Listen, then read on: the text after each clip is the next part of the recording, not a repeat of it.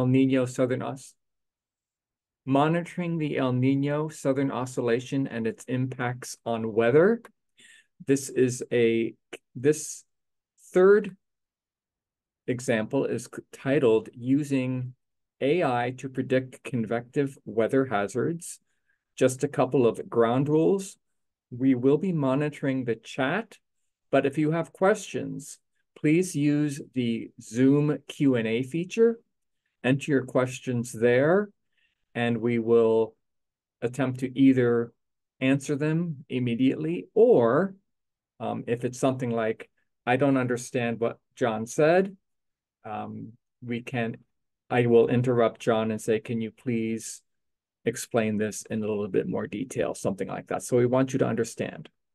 So again, the title today is using AI to predict convective weather hazards. Let's go to the next slide if I can. Let's see. Yep, that's the next slide. Your present, your the, I'm Scott Lindstrom. I'm on the right, but the person of importance for this is uh, John Cintineo, who's a research meteorologist at the National Severe Storms Lab.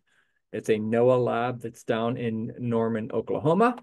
Um, although John does work in Wisconsin, which is where I'm I am at. So he's going to be talking about how he has developed tools using AI and machine learning to predict uh, convective weather. This is part of a series that is that is managed by the American Meteorological Society Satellite Meteorology, Oceanography, and Climatology, that's SATMOC, working group on virtual training. This is the third one. As you saw, there were 300 people at the first two, and we're hoping for similar attendance today. And the people who are in charge or people who have been involved in putting this together are shown on this slide. So thank you very much to that. Thank you to them for that. Just a spoiler alert, what, what are you going to do after this class? There's going to be a survey and that this link will show up in the chat occasionally as well. Um, but with that, I think I've said everything I'm supposed to. I did not really introduce John. He's going to introduce himself. Um, so I will stop sharing and take it away, John. Okay, let me go ahead and share my screen. Okay, hopefully that looks good for everyone. Yeah, well, welcome everyone. Good good morning, good afternoon, and good night for people all across the world. It's cool to see everyone tune in and this this presentation is going to be a little bit different than some of the other ones in uh, from from past weeks and in the, the next week, but it's we will tie it into to ENSO and and can, how that affects convection in mainly in North America. I'm hoping you can uh, learn a few things and and uh, to bring back to to uh, your research and and apply artificial intelligence uh, to different problems you have for convection. As Scott said, I'm a research meteorologist at the National Severe Storms Lab, which is part of the United States' National Oceanic and Atmospheric Administration. So let's go ahead and get started. Oops. Okay, so really brief outline. I'm going to talk about what something called prob severe is. And we'll talk a little bit more about ENSO and, and convection in, in North America. Then I'm going to go into different products in prob severes. Version three, something called Intense StormNet, and something called Lightning Cast. And then we'll have a couple notebooks for the latter portion of uh, the presentation. Okay, so what is prob severe? Well, prob severe is, is kind of short for a probability of severe models, it, it started out as a severe weather nowcasting models, but it's evolved into a collection of machine learning models to nowcast or short-term short-term prediction for convective hazards. Prob ProbSevere version 3 are machine learning models for, for forecasting large hail, wind gusts, and tornadoes. this model called Intense StormNet uses something called deep learning, which I'll explain on the next couple slides. It uses only satellite data from satellite images to detect the intense parts of storms. And then another model called LightningCast is also a satellite only deep learning model for for predicting lightning in the in the short term. Okay, so some of you are surely uh, aware of what AI and ML and deep learning are, but just really briefly, artificial intelligence is basically just any technique which allows machines to try to make human decisions or human products. Machine learning is a popular subset of AI, which uses mathematical models and method statistical methods to help machines to to make these uh, uh, human-like decisions or or behavior. And deep learning is a, a subset of machine learning, which makes uh, use of multi-layer neural neural networks, and it's also much more heavily um, heavy in computation than a lot of traditional machine learning methods.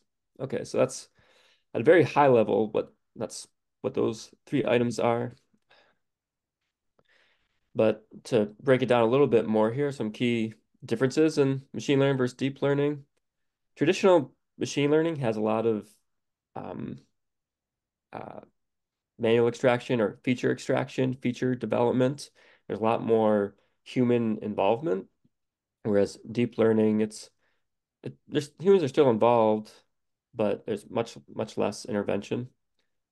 There's supervised and reinforcement learning are part of the training methods for a lot of traditional ML tools, whereas something called autoencoder, which we'll talk about, and uh, generative adversarial networks GANs are some of the more popular training methods uh, in our field for, for deep learning.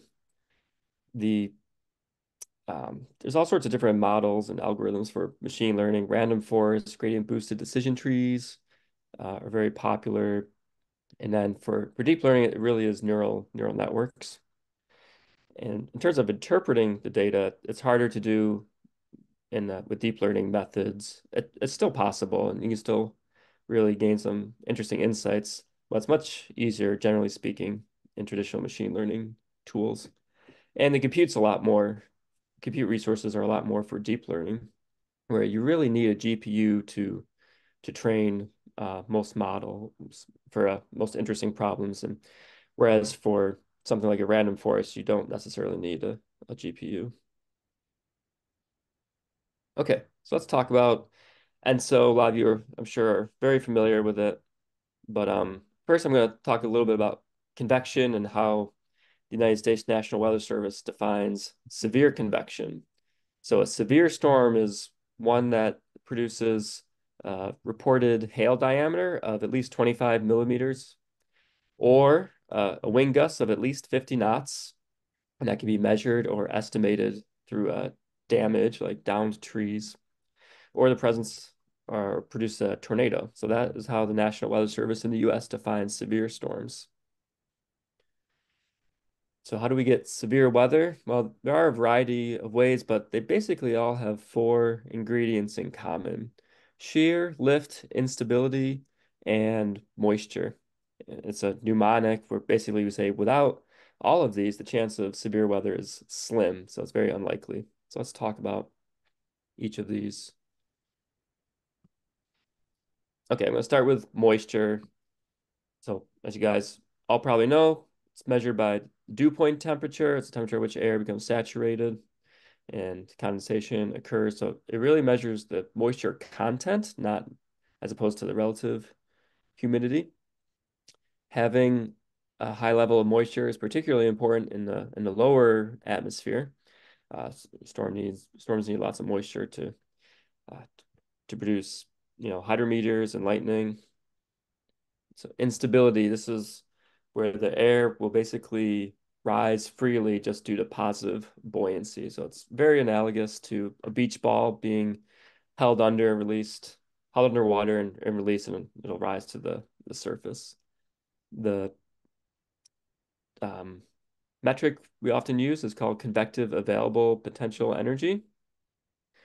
And this can be measured on something called a skew T log P diagram. But basically, to get really high levels of CAPE, you want warm, moist air near the surface and cold air aloft. And according to parcel theory, stronger CAPE results in stronger updrafts of storms. And, and those are particularly important for things like hail. Okay, lift. Well, you can have these ingredients in place, but you need something to, to be a forcing mechanism for the, the storms. These are things like low pressure systems, different fronts or dry lines, um, orography, outflow boundaries from other storms. This, this will help overcome any initial convective inhibition and, and get storms or air parcels to the level of free convection where they can tap into that available potential energy. And lastly, and perhaps most importantly, is something called wind shear. It's simply the change of wind speed and direction in our case with, with height. As, as the little diagram shows, this really prevents an updraft from collapsing on itself. So it helps sustain the updraft, helps it intensify. And storms with very high wind shear, usually 45 or 50 knots or more, uh, often become supercells where you then you get in a rotating updraft and and um, all sorts of all those hazards, winds, tornado, and hail are associated with with supercells.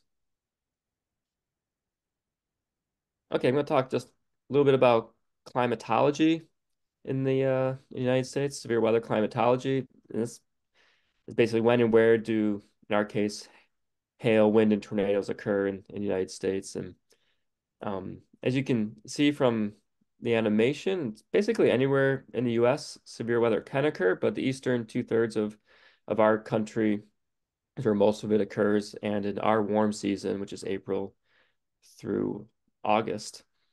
Um, different parts of the country have different severe weather seasons. In the early spring, April, May, it's, um, eight, uh, Texas and Oklahoma have a lot of severe weather. And then that shifts northward and to the northern plains and eastern United States. And then in a cooler season, kind of December, January, February, the southeast U.S. has more of its uh, impactful severe weather, but not not quite as frequent, but can still be some pretty big outbreaks.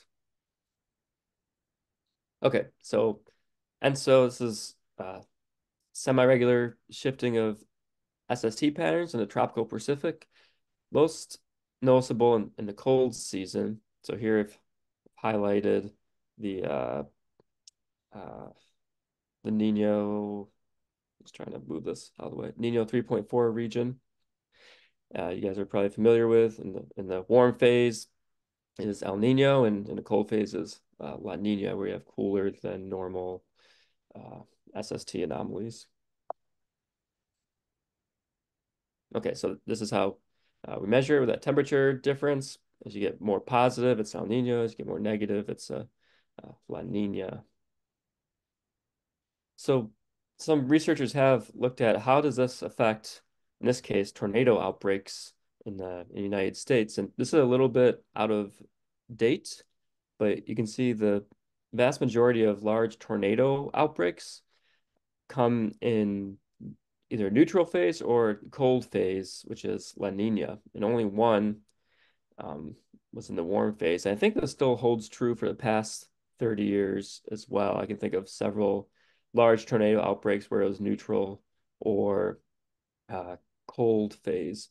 And I know 2011 was probably the largest tornado outbreak in my lifetime, and that's right here. So it was a pretty strong, well, I guess moderate to strong uh, La Nina. So how does, why is that? The El Nino cold season, the storm track is, is further south. So here on the left is uh, typical La Nina storm tracks. It's a little further north, kind of in the central United States. And El Nino, particularly in the cold seasons, that's December, January, February. It's those low pressure systems are really hugging the southern part of our country and, the Gulf of Mexico coastline. And this has been shown in uh, some other studies. This is Allen et al. 2015 so this is a composite uh, mean anomalies for hail on the left and tornado on the right. And the top is El, El Nino uh, for this is December, January, February, and the bottom is La Nina. As you can see, El Nino for hail and tornadoes, you have a high, a stronger positive anomaly along the Gulf Coast. And in La Nina, if you have a La Nina in the winter, uh, that anomaly shifts further north. So you can see, especially for hail, not so much for tornadoes, but you can see how that tracks really nicely, nicely with these typical storm tracks. If we look in the springtime, March, April, and May, for hail and tornadoes, um, again, El Nino's on top, La Nina's on the bottom. You can see a uh, a negative anomaly or a dearth of of hail and and also tornadoes in the spring, but a very strong positive anomaly uh, for La Nina of hail in the southern south central United States for hail and tornadoes. Now, La Nina and El Nino are actually most pronounced uh, for the United States, and um, or I guess maybe in general in the in the winter months. So, but they can certainly persist into into the spring as well.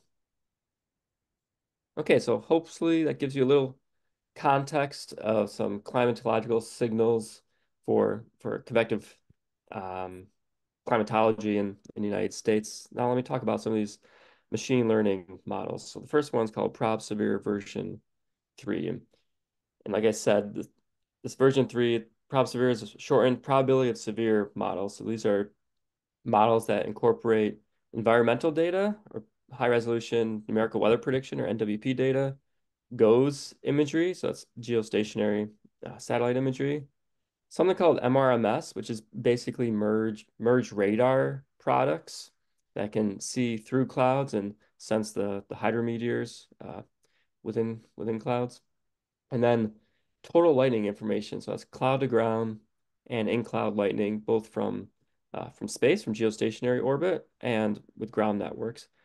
So ProbSevere version 3 fuses all this together to predict the probability that any given thunderstorm will produce severe hail, wind, or tornado up to 60 minutes later in the future. And this is kind of what it looks like. This, the system on the left is what the National Weather Service in the United States uses to, to view, view data. But ProbSevere are four, version three is four different gradient boosted decision trees and it identifies and tracks storms in, in both radar and satellite imagery across the United States, and it extracts these these features. So, like, what is the flash rate? What is the satellite growth rate for a given storm? Um, what is the radar reflectivity? What does the rotation based on radar look like in in these storms? And this is used operationally throughout the the United States as a decision aid to help forecasters issue severe weather warnings. So something called like a severe thunderstorm warning or a tornado warning. And on on the left here, you see all these. The background is radar composite reflectivity, pretty analogous to rain rate. And then you see all these colored contours, and they're the prob severe objects, storm objects, and they're colored by the probability of severe weather. So you can see the color key up here. As you get to the pinks, it's a very high probability of severe weather. And then these polygons that pop up, these yellow and red polygons, are the warnings that humans are using or that humans issue to help warn the public that uh, severe weather is, is imminent. In the United States, all warnings are still issued by humans. Um, machine learning is really to provide a decision aid or, or guidance to the forecasters to help issue more accurate warnings. I'm going to talk briefly about some of the display of this because I think how you display your products is actually really important. You have to think about what your users want, what is most helpful for them. And for us, that's forecasters making these warning decisions. So forecasters often look at radar data. So we didn't want to fight that paradigm. We wanted to work with it.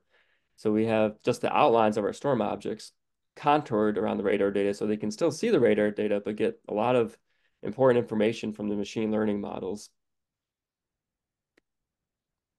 if a forecaster puts their hovers their mouse over a storm, they can see the specific severe weather probabilities for each hazard, hail, wind, tornado, or any of those hazards. They can also see different storm attributes like the vertically integrated liquid, the lightning flash rate, the CAPE, the shear, and, and so on. So this really helps forecasters to unpack the black box of these machine learning models and gain trust in, in their use in, in operations. Another feature in the systems, forecasters can click on a storm object and get uh, a recent history of the different severe weather, severe hazard probabilities, seeing the trends. Forecasters have said that really help them decide whether to issue or not issue a severe warning, especially if they're they're unsure if they've seen that a storm has a history of producing severe weather or has really high probabilities, then they're more likely to to issue the warning again. And this is just another way to get more information on the same display, everything in front of forecasters, so they don't have to waste time going to a new, another screen or or something. So the probability of tornado, which is a particularly difficult and uh, hazardous phenomenon. So that's a separate contour that we, with a separate probability, still using this this uh, color bar. So that's just how they can see both the probability of tornado, which I have a separate product to issue. That's the tornado warning, and the probability of any severe. In this case, it's the the pink probability, the inner contour, and they use that to help issue severe thunderstorm warnings. So decision aids like ProbSevere can really help forecasters perform something called triage or prioritizing the different threats in these busy situations where you have storms all over, quickly developing. Some are only for um, have hail or wind hazard, and some have tornado hazard. Some have all three. So forecasters really have to make quick decisions and uh, accurate decisions, and something like ProbSevere helps them do that. This is a just a example in the northern part of our country in North Dakota. Some storms, a uh, little part of a squall line heading up here and, and creating a lot of wind reports. That's what these little W's are. You can see how the, the warnings track really well with the, the ProbSevere objects. And as it hits this river valley, the, the probabilities are pretty high and produce a lot of significant uh, wind damage. But from that storm, I want to just illustrate something called decision plots, which you guys will be looking at later with Scott. You, and this is part of uh, explainable AI. So understanding uh, which predictors, which features in the model are most important at any given time in, in, in a gradient boosted decision tree. So at the top are the more important predictors, basically you have a larger deflection to the right. And those are the ones that are more important. So the lightning flash rate, um, and then a few radar metrics, excuse me. Hmm. Any deflections to the left are metrics that are decreasing the final probability. You can see here the low level lapse rate. So that's the environmental lapse rate. What's the difference in temperature from the surface to three kilometers above the surface? It basically cancels out the mid-level radar-derived azimuthal shear or rotation in the storm. You can see how one is a leftward deflection and one is a rightward deflection of about the same magnitude. And at this point in the storm's lifetime, where it's a pretty mature severe thunderstorm, a lot of the environmental or NWP based and satellite predictors are are not super important factors. So we'll talk a lot more about decision plots uh, later. Okay, let me talk about intense storm net.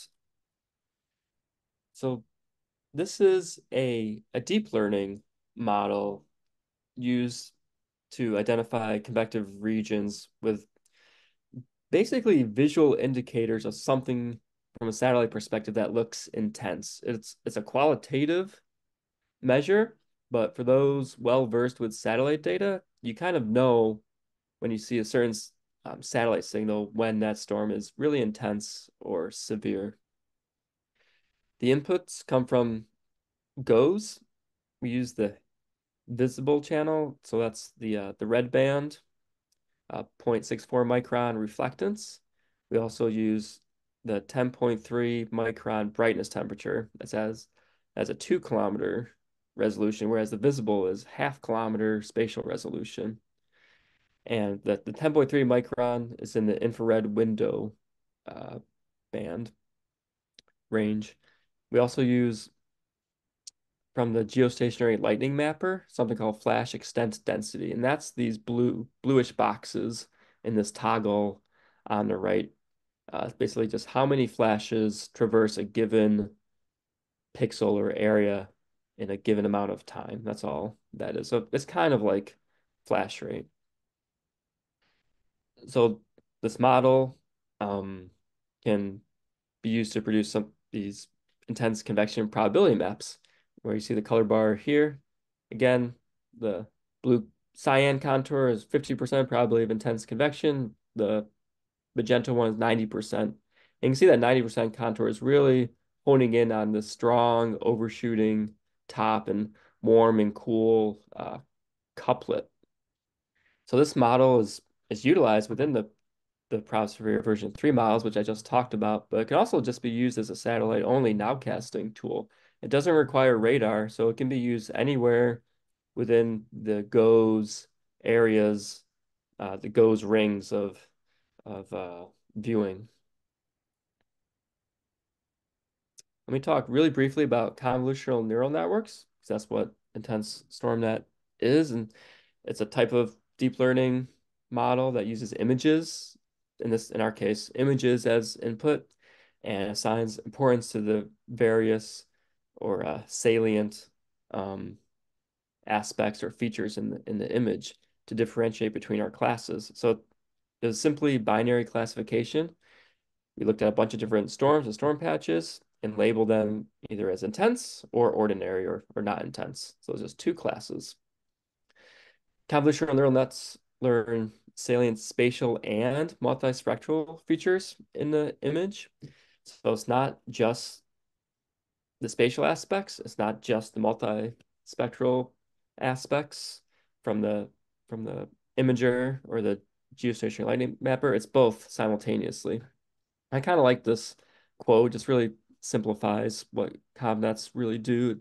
The role of convnet is to reduce the images into a form which is easier to process without losing features which are critical for getting a, a good prediction. So it does make some um, assumptions in these convolutions, but they're a really powerful tool and, um, you know, kind of the same technology that's used in self-driving cars, really. And this is what the model looks like. We have two different branches of inputs. One is from ABI, which is the Advanced Baseline Imager on GOES, and one is from GLM, or the Geostationary Lightning Mapper. So we have these image patches of flash extent density, or the two um, channels on ABI. And here we interpolate the two kilometer resolution channel 13 to the half kilometer resolution at, at channel 2. And then there are several blocks of um, convolutions and pooling layers and the number of feature maps, which is this number here, doubles each time. And eventually it all gets flattened and concatenated together along with a few scalar attributes, latitude, longitude, solar zenith angle. So it just tells you, you know, how high is the sun basically, and then the satellite zenith angle or satellite viewing angle. It all gets concatenated, and there's a few fully connected layers um, uh, for neural network layers. And at the end, it's just one, for a given set of image patches, it's just one probability of intense convection. These are storm tracks in our dating database, training database. I think we um, manually me and se several other researchers manually labeled something like two or 300,000 different image patches. I can see most of it is in the eastern two thirds of the United States where most of our severe weather is, but there are some kind of in the southwest uh, US. Not sure who's drawing on my screen. Wonder if I can delete that somehow. Yeah, I'm not sure if that was me or not. I mean, my I'm moving my mouse around, but uh, yeah. You can also disable annotation as well. Um, uh, so do? Uh, up at the top underneath more, the top of your toolbar, um, not the annotation toolbar. Okay. Uh, so if you go to the, the top of your toolbar, you should have a drop down um, and oh, over yeah. on more, be able to disable annotation. Okay. Now I need to delete the ones that are currently on there. Um, your toolbar oh. should have the eraser. There you go. Yeah. I like your lines, but they are a bit distracting. All right. Thank you, Megan. All right, let's talk about what intense StormNet output looks like. So it works day and night, even though it uses um, the visible, the red band. It, it can be used on basically any any scan in, in the GOES domains, GOES east or west. Like I said before, it doesn't require radar data. And you can see here, we have this developing severe thunderstorm. The imagery is something we call sandwich imagery, where it's essentially putting together the, the visible, which is largely in the white, and then the infrared from the 10.3 micron brightness temperature, coloring that um, at colder temperatures. And as that storm grows and develops, you can see uh, the probabilities increase rapidly. Uh, and one really interesting the thing you'll see on, on the next, as it goes again, uh, a storm that splits to the left and has enhanced probabilities right up here. And the model captures that pretty well. But you can see it's not highlighting the entire anvil cloud. It's really just the intense part of that storm, the areas where it's most likely to be producing hail or, or wind or even tornadoes.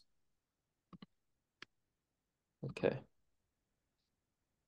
So I'm going to show a few more examples. This is with GOES's one minute mesoscale sector.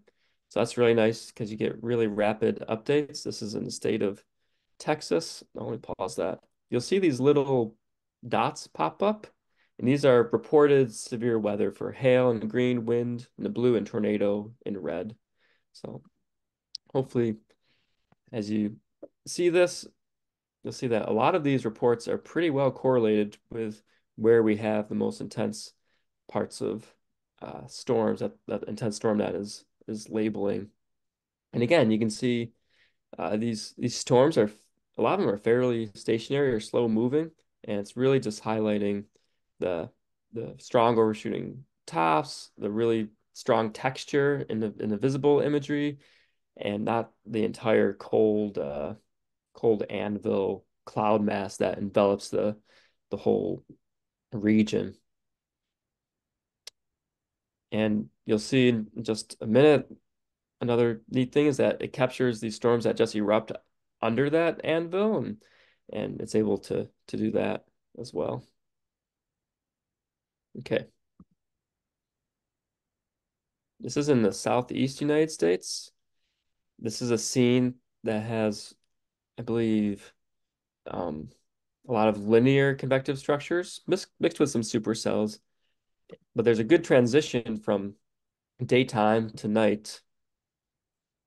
And which is ideally what you want to see in, in a product. You don't want it to be very different, um, you know, just when the sun sets.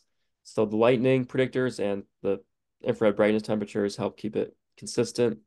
And I think later on in the animation, uh, you get some reports that have really small probabilities with them. And there is an underestimation of the severe threat when lightning is very low.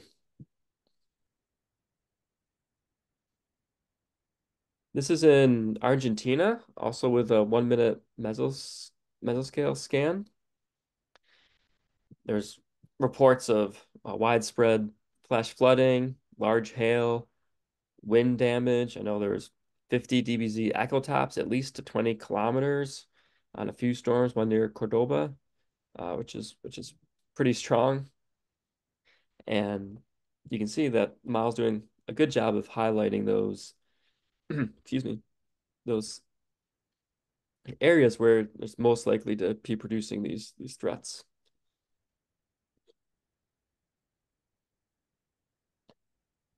Transitions to nighttime and it's still hitting the the strongest areas. That the color bar is not great. It really washes out some of those strongest uh, overshooting tops down in Argentina. Okay. Another tool you can use to help discover or elucidate what the model is learned has learned or what it says is important is a permutation test. I won't go into it too much, but basically for each predictor, you um, randomize it or jumble it up among the other samples in your data set, and then compute a, a skill score.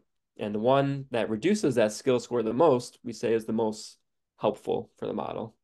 So we did this on a daytime only sample so that the channel two reflectance could have equal possibility of contribution. And what we found is that the channel 13 brightness temperature from ABI was the most important.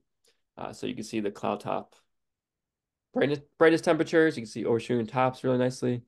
But kind of surprising that the GLM flash extent density was was more important than the reflectance. I thought it would have been the other way around. With the reflectance, you could see also a lot of uh, strong texture in, in the cloud tops. It's also important, but the lighting information was um, particularly important. So this is just another tool in your toolbox you can use to to unpack uh, these models. So we run this in near real time at the University of Wisconsin. And right now it's only over the contiguous United States or or the CONUS, but you can actually uh, view output, but you can download output as well if you're interested in in that.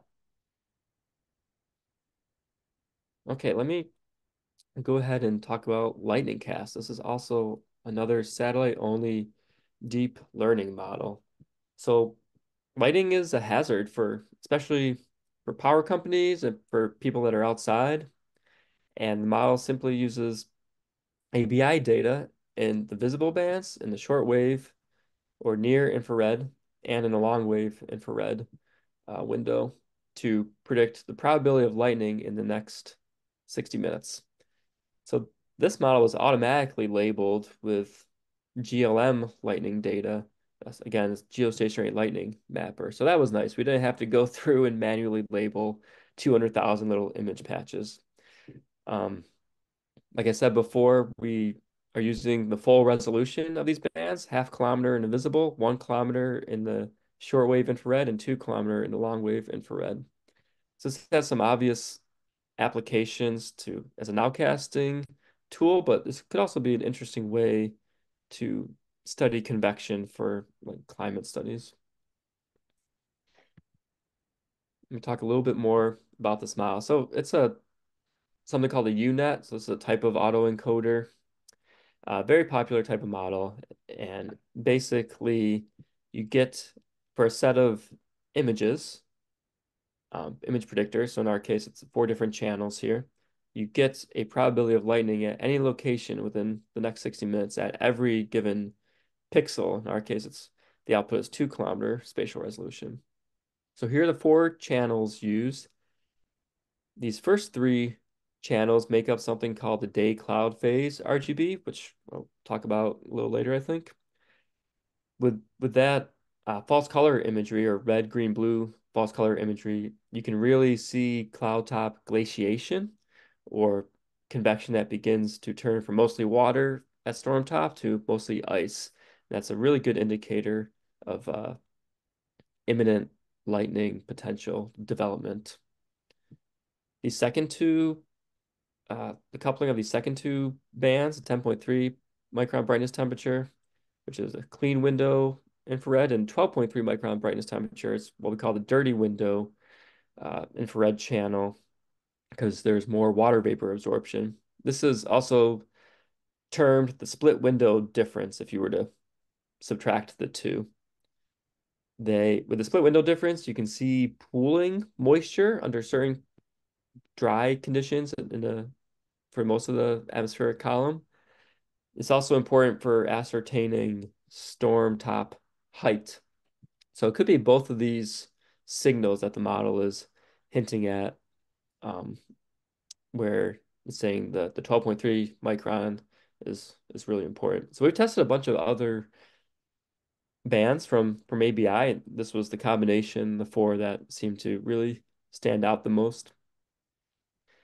It was trained, like I said, on GOES-16 GLM data. The flash extent density just accumulated over the next hour from a given ABI scan. GLM is a, an optical sensor.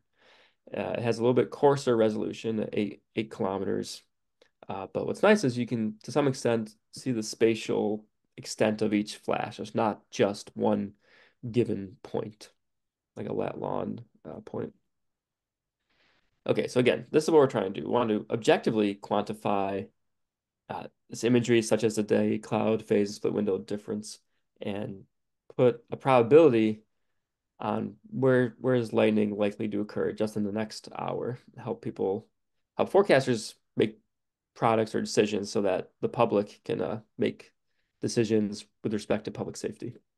So this is what the lightning cast probabilities look like. Again, here's here's the color bar here. Um, just some really quick verification notes. We have, you know, we validate this across a large number of days and seasons. Much better performance um, during the day, though it still predicts lightning initiation fairly well at night. Better performance in the warmer season, kind of April through October. This is something called Critical Success Index. CSI goes from zero to one, with one being better. And this is a um, reliability diagram where it shows how, given a certain forecast probability, how often do you attain the um, the event frequency. So how often does it occur? So given a forecast of probability of 40%, for a well-calibrated model, you'd want lightning to occur about 40% of the time. And you can see there is some over forecasting bias where we're predicting 40% forecast probability and we're only getting about 25, 30, yeah, maybe, yeah 25 to 30% verification. But, and importantly, we see some really good lead time to lightning initiation in a median sense about 15 to 20 minutes of, of lead time. And, and that's really important because the first flash can be uh, really impactful and, and dangerous to, to people. Okay, and this this slide just shows that we, we run this on GOES East and, and GOES West. Um, we also run a, a sector that goes down to about six degrees south since there's a couple NOAA entities that forecast for the ocean, the offshore zones. Uh, we we have a sector over Alaska, Western Canada, American Samoa. We also have a sector using Himawari AHI data over Guam in their large area of responsibility. And we can do that, apply lightning cast to a sensor that it wasn't trained on because AHI is so similar to ABI. But um, and one thing we're also working on now is just to use some fine tuning methods to further enhance the accuracy of predictions in different parts of the world. Okay, so I'm going to show think, a couple of examples. This is the Florida Peninsula. The uh, background here is just called a natural color RGB. And you'll see these, these contours pop up with the probabilities, and then you'll see the uh, the block, uh, the blue to yellow orange pixels are the uh, GLM flash extent density. So there's a lot to look at here. Maybe I'll let it go through a few times and point out a few things. But you see it, sea breeze, uh, convergence, along the coast here. You get upward development and and then thunderstorms begin to form. And hopefully you can see that in a lot of cases, you have higher probabilities before you have the first flashes. And I went through this and tried to measure lead time to the first flash. This is measured from the cyan 25% uh, probability threshold for measured to the first GLM observed flash. You see the amount of lead time kind of ranges from 10 minutes to, to 50 minutes. There is, of course, lots of internal cloud microphysical dynamics, which we can't see from satellites. So there's, there's lots of things we don't capture, but there's a, a good range of positive lead time to these, uh, to lightning initiation. And uh, there are relatively few false alarms. This is an example using one minute updates in the central part of the United States in Iowa. A little bit more complicated scene where you have some overlapping cirrus clouds, but with our eyes, we can still see some developing cumulus clouds underneath that. And the lightning-cast model can see that as well with developing higher probabilities as these cloud tops begin to glaciate and, and grow vertically. And in this case, I think there was 20 or so minutes of probability to a lot of these different cells.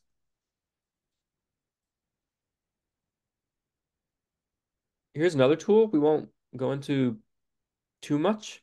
Another tool to see what's important or relevant to the predictions being made. This is using something called layer-wise relevance propagation. There's a couple different methods or implementations of this, but it shows for each channel at each pixel how important or relevant is that to the final prediction of uh, the probability of lightning. This is from the previous example in Iowa, and this what we want to know is like the prediction here at this black X, which is right here, right next to this this uh, convective cloud here. The probability was 58%. So what was important? A lot of things stand out that you know are fairly intuitive, where you have the bright, bubbly looking cloud top in, in channel two. Um, a little hard to see, but it's also turned to ice. That's what channel five tells us. So that's the snow ice band. That's differentiates between uh uh yeah, the snow and, and liquid water or ice and liquid water. And then also in channel 13 and 15, also highlighting the same areas where you have cold cloud tops. Okay, here's a nighttime example. And you can see it's really hard just looking at this. Where is there going to be lightning in the next 60 minutes? But I actually lied. This isn't a nighttime example. This is a daytime example. I just took out the, the visible bands and made predictions. So this is what lightning cast predictions are up here without the visible information. When we add in the visible information to the model, you get much better predictions. It can see this Q coming up through the, the moderate cirrus here. So this is what it looks like, the, the scene. So it really starts to highlight an area as soon as you can visually start to see those clouds poking up. And then, of course, you get some lightning in the in the near uh, future. So this just goes to show that um, though as overall, it doesn't appear that the Viz and the near IR channels are contributing a lot. They are really important, and especially in specific situations. So uh, this one being a nice example of that. You have to excuse me, I'm battling a little bit of a cold. I'm going to blow my nose real quick.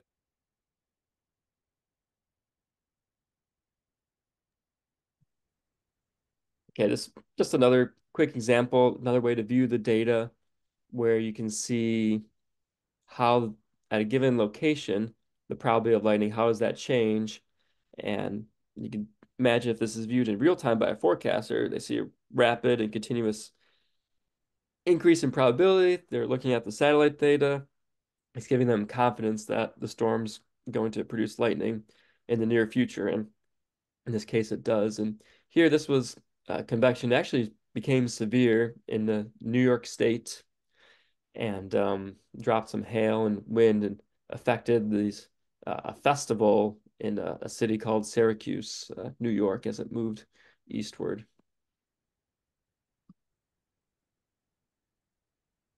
Yeah, so it's just another way to to view the data both in the 2D fashion, a little bit different color bars here, but um, this is a, lightning meteogram where we see not only the probabilities of lightning from lightning cast in this red line, but these blue dots are observed flashes from the geostationary lightning mapper. So forecasters use both tools to to help discern the lightning potential at a given location or for a given a given region. Okay. We did look at lightning cast validation throughout um, well for United States, Central America, and, and Northern South America. Uh, again, CSI's critical success index. It's basically the accuracy of a model leaving out true negatives or correct nulls, since a lot of those are pretty trivial to predict here.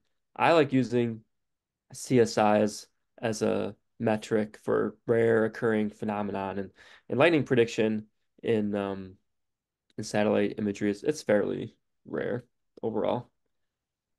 But you can see we did a validation spatially to see how does it change versus land and water, different regions, and you can, and this is just the number of events for each uh, location. So it looks like uh, Panama, Venezuela, and Colombia are the the winners for a number of lightning events. But if you look closely, you can see that the model does seem to do a bit better over land than over water.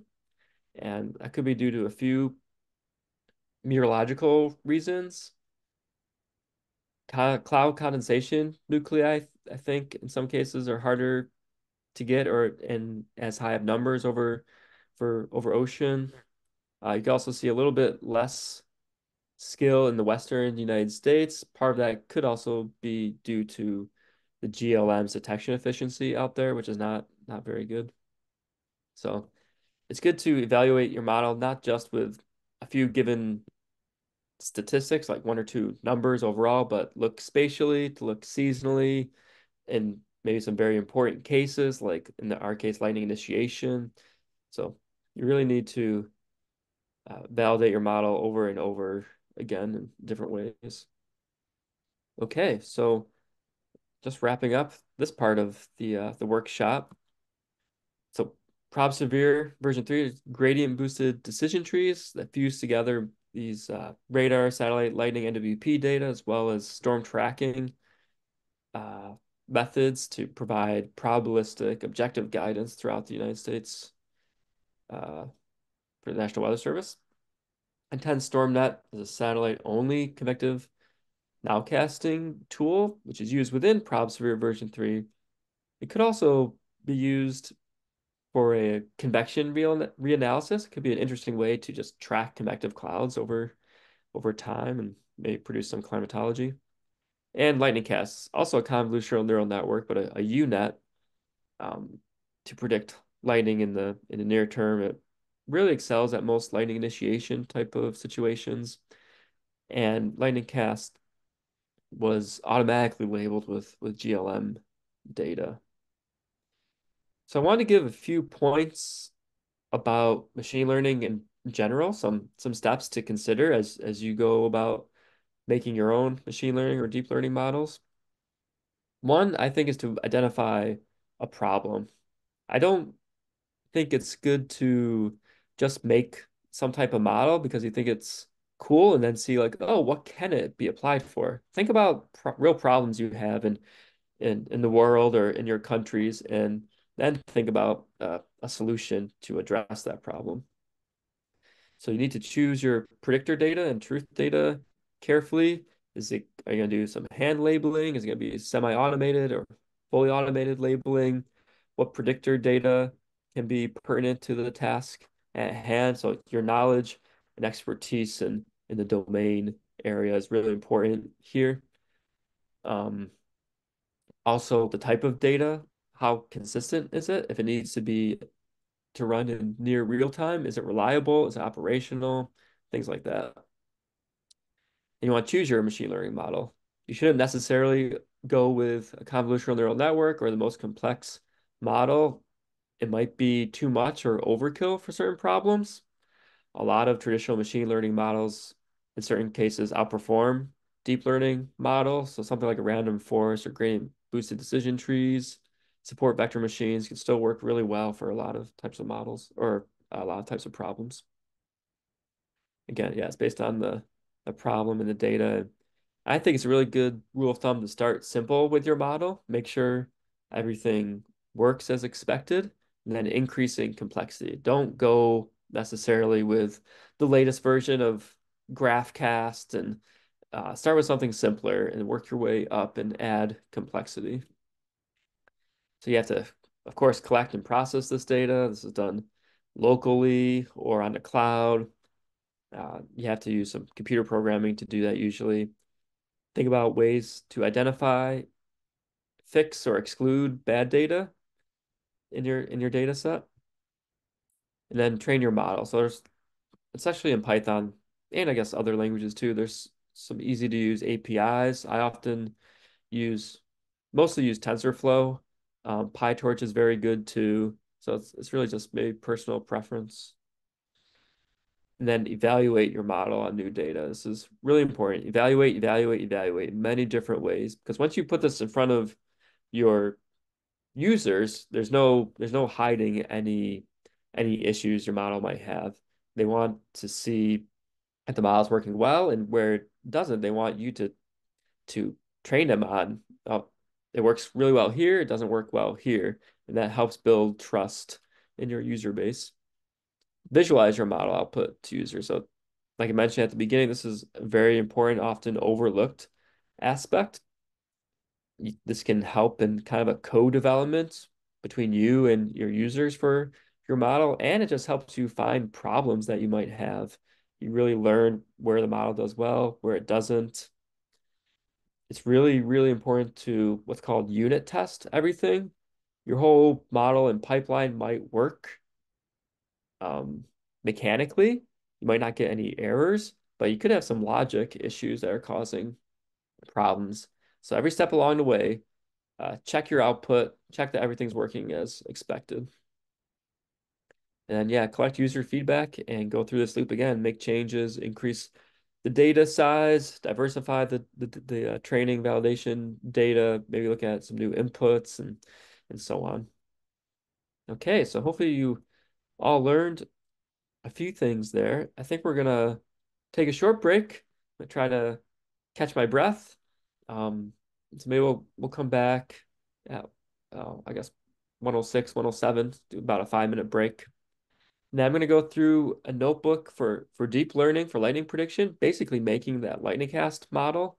I'm not going to execute everything in it because it just takes too long, but we'll put the link in the chat and you guys can go through it on at your own pace, on your own time. And um, so I'll just highlight a few points in there. And then we'll take a, another break. And then Scott will go through a notebook on the Prob Severe model, version three models, uh, predictor importance, and use some of those, show you how to use some of those tools. So let's take a break and we'll reconvene in about five minutes or so. And John, I thought maybe at the start of the, at when we're back, um, there's some questions in the Q&A that maybe you can answer because they're outside my knowledge base. Yeah, that sounds good. All right, we'll see you all at 107.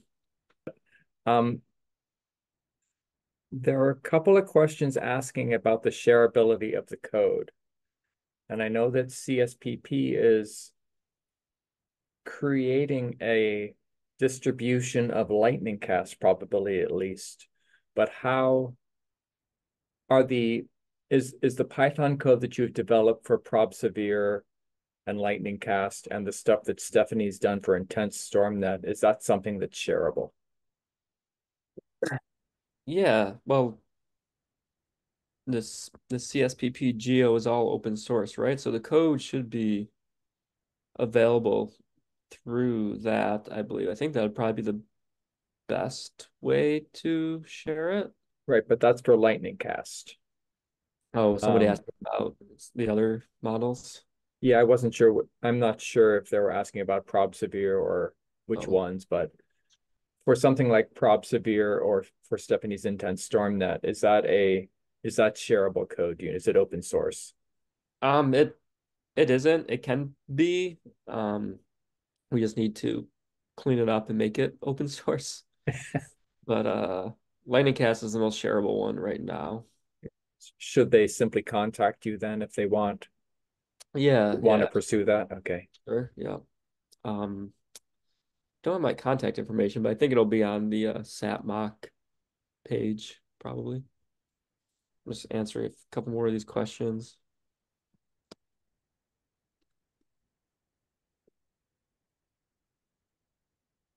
So the one I'm looking at is the what are the uncertainties and limitations of using AI to identify um, the location of high probability intense convection from satellite data images? Um, I know I know we've talked some about the thickness of cirrus prevents that, but are there any other things that come to mind immediately about that?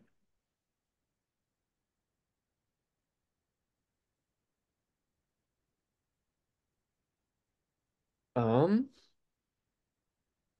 yeah, it's it's a good question. Yeah, with the satellites, once you get clouds, it's really hard to see anything going on at, at the surface.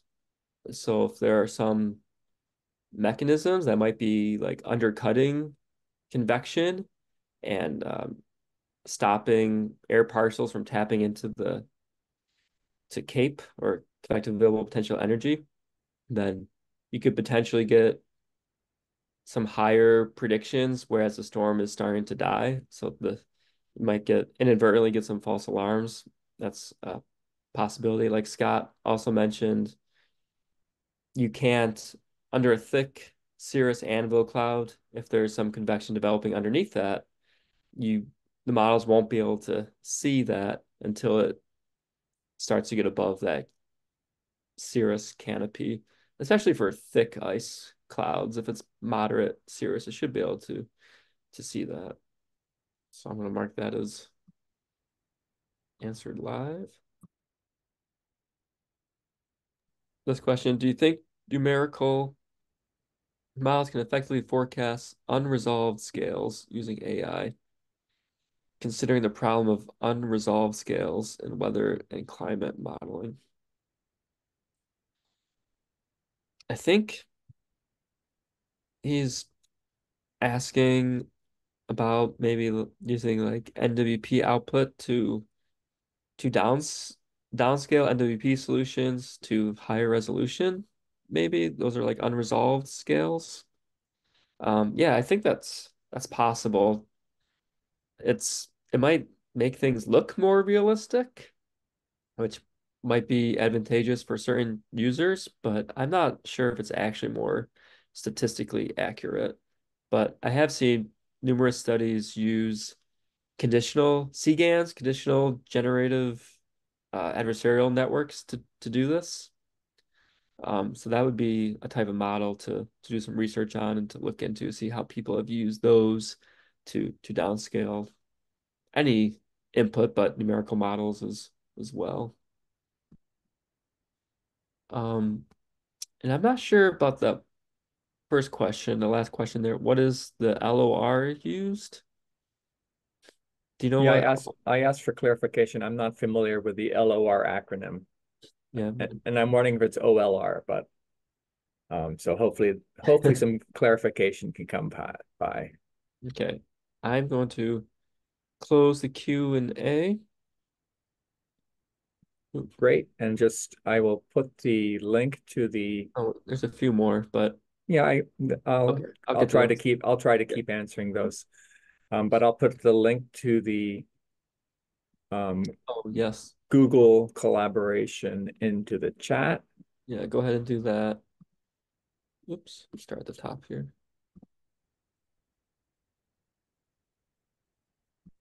Okay, give everyone a minute. So Scott has put in the uh, notebook link into the chat. Hopefully you can all um, click on that. If it's not at the top, just scroll all the way to the top and we'll Whoops, that's the wrong one. Oh no. I put I put the one I'm going to be talking about. Oh, okay. Okay. I'll I'll put the other one in. Okay. There. This is the right one. What I put in. And you you can just bookmark it for later. You can just look at my screen as we go through it, or you can try to follow along. Okay. So I'm going to talk about just some concrete steps on how to use machine learning to train a lightning nowcasting model. This is very, very similar, uh, almost the same of how we train lightning casts, only this uses a lot less data, but basically you just expand the amount of data you use and you can um, train something like lightning cast. Okay, so hopefully you'll have a better understanding of um, validation and some machine learning aspects, especially for deep learning. I'm going to talk about TensorFlow records a little bit and um, yeah, some overfitting and underfitting potential potentialities. But let me talk about the background of this problem just a little bit more. In my presentation, I talked about the daytime cloud phase distinction RGB, and it's formulated several different ways, but it uses the uh, 0.64 micron reflectance, that's visible band, 1.6 micron reflectance, uh, the ice water discrimination band and the ice liquid water discrimination band in the uh, near infrared and long wave infrared brightness temperature at 10.3 microns. So in this formulation, basically the background land is is you know dark blue. Water clouds are uh, turquoise or cyan color. Thick ice clouds are orange to, to reddish. You can see my, hopefully you can see my mouse right here. But importantly, glaciating clouds are just turning to ice are green. So this signal that we can see with our eyes is one signal we're trying to train a model to, to learn because we know this is indicative of, often indicative of future lightning. Okay, we talked about some considerations for the problem. We talked about our, our data set GOES-R, our data sources from GOES-R ABI and GOES-R's geostationary lightning mapper. All of this GOES data is um, available freely on, on the cloud. One thing we use, which is a little bit different, is this free GitHub package called GLM tools. And this converts the level two GLM files where you have lightning, something called events, groups, and flashes. It makes flash extent density, which is the the the spatially informed flash rate for for GLM.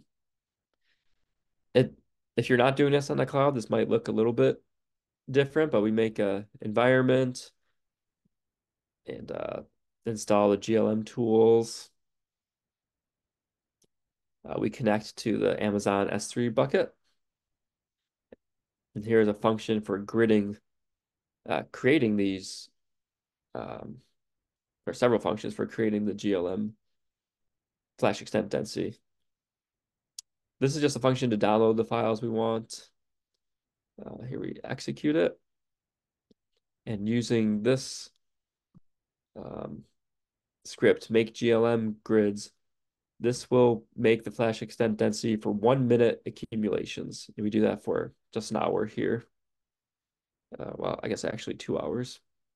Let me go here. Some helper functions. Uh, and then all those one minute GLM grids. So right now, again, we're making the target data. All those one minute GLM grids get aggregated into 60 minute grids. That's what aggregate GLM grids does. I'm not going to go through this too much. There are a lot of different fields, including flash area, optical, total energy, total optical energy. The one we're really interested in is flash extent density. So let me go ahead and hide, I forgot how I hide this. Um, let's hide that one. Okay. So now we have these aggregated um,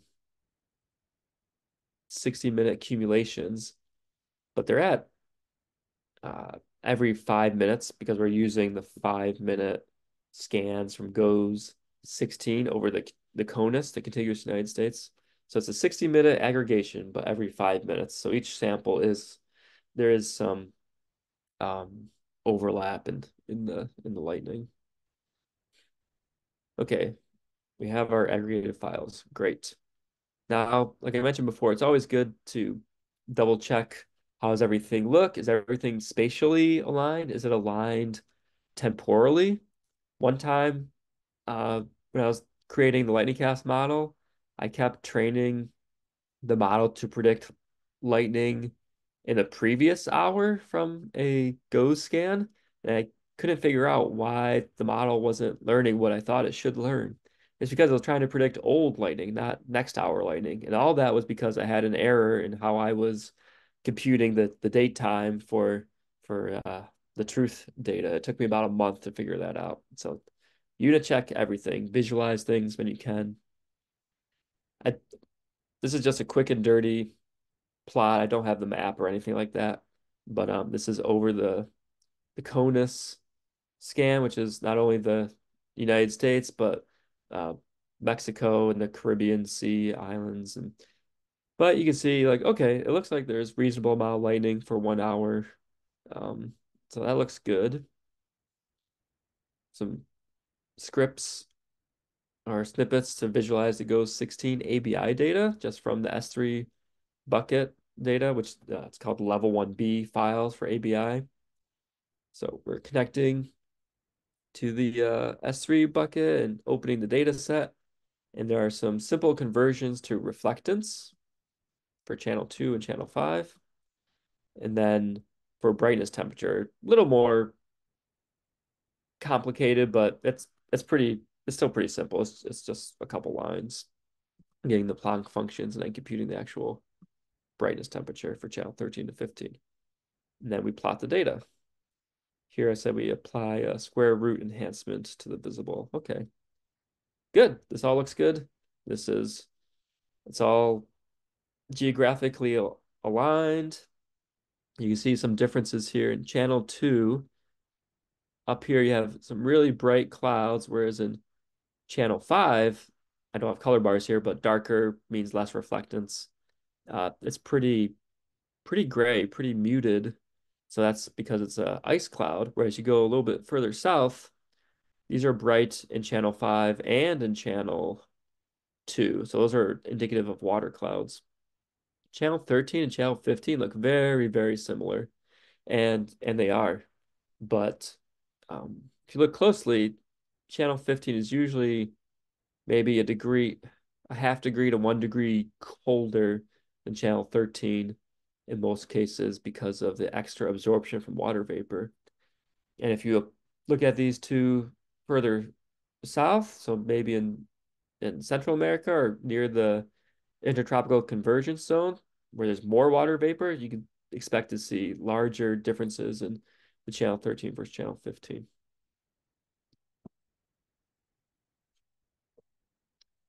But everything looks good to me. So let's let's keep moving. Okay, generating TF records or TensorFlow records. So there are a lot of different ways to feed your data into a a, a GPU. Um, if it's a small data set, just using something like NumPy arrays is super easy. But when you have a big data set, that becomes intractable. It's just too much data, too much RAM to feed to the GPU. It can be slow. It's not it doesn't necessarily work on um, distributed cloud systems. So TensorFlow recommends using their binary format called TF records or TensorFlow records. And these are a little bit nebulous or it can be a little bit difficult to understand, but once you get some functions set and you know look at some of their documentation, which I've uh, reproduced here to some extent, then it, it's actually not that bad. And once you get it, you can just reuse it. One thing we're doing is byte scaling the data to save space. So there's a byte scale and an unbyte scale functions. So basically you're changing your data from floats into into bytes. So you do lose a little bit of specificity or resolution to the data.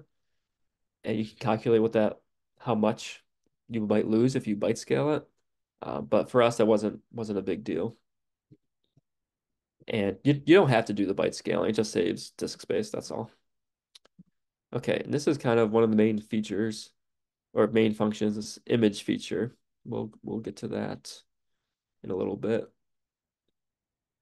Um, some more functions for parsing the TensorFlow record and, and creating an example, but let me, yeah, so here we are creating full exam, full samples or, or patches. So the grid we're using at two kilometer resolution is 1500 by 2500. Well, we don't want to use the entire grid. I suppose you can, but there's for a lot of scenes, there's a lot of area that just isn't interesting. There's no there's no lightning in it at all. So we have patches of 480 by 480, and those are going to be our samples. So we go through each each scene. Again, each scene is basically this size. And then we do patches of 480 by 480. And we check, is there a flash rate in at least one pixel of at least three flashes? For each batch size you feed the GPU, you want each of your classes represented. So in our case, it's lightning or no lightning. So we thought the easiest way to do that is like, well, just make sure each sample has at least some lightning. And I chose a threshold of three flashes simply because sometimes you get uh, one or two flash pixels, which are actually errors, instrument errors. So I wanted to just do a, a really low tech way of doing some quality control. Okay, so for each truth file, so that's our GLM aggregated files for the next hour. For each truth file, want to go through and start to organize the data in a way the TensorFlow record wants. So first we byte scale the data. We have um, a minimum value and a maximum value. And I think I defined these up here. Oops. Yeah, so these are these are the ranges that for each channel that we're that we're going over. So basically, per this is the truth metric. Flash extent density accumulate over the next 60 minutes. All right, we're going from zero to 255. And essentially anything over 255, we're just calling 255 flashes. And there should be nothing less than zero. And then this is in brightness temperature, brightness temperature, and this is in reflectance, which goes zero to one. For channel five, it's pretty rare to get really high channel 5 reflectances, so we capped it at 0.75. Okay, back to here. So our target, GLM aggregated, we're byte scaling, but again, you don't have to do that. And then we're expanding the dimensions. So we're adding a dimension, a channels dimension at the end. So it should be number of X by the number of Y by one. So it's three dimensional. And we do similar things for channel 2, channel 5, channel 13, and channel 15, where we compute the brightness temperatures, the uh, reflectances, byte scale them, and then add the channel dimension. Okay, so that's for each date time. And now we are going through our patches. And this is where the writing of the TensorFlow records actually occurs. We make sure that we have some decent lightning in the in the scene. And then you do this convert to tensor and serialize it into a dictionary with these keys. And then we send that to our create example function, which was up here, which is this, which calls the image feature function. That's doing a lot of the heavy lifting, actually. That returns a TensorFlow example, and it can uh, we write that out or serialize it. One thing to note, I'm using different resolutions. I'm using the two kilometer as kind of two kilometer horizontal resolution is kind of my baseline. So for channel five, that's at one kilometer on the same projection, same domain. So I just simply multiply by two. And for channel two, that's a half kilometer. So I take the two kilometer y and x and multiply by by four. So I make sure I get the same patches, uh, same domain for each set of patches. Okay, so we created some TensorFlow records. And again, want to visualize the records. Here's a simple script for doing that. We unbyte scale the data so we can get it in more physical units. So I didn't put color bars on this.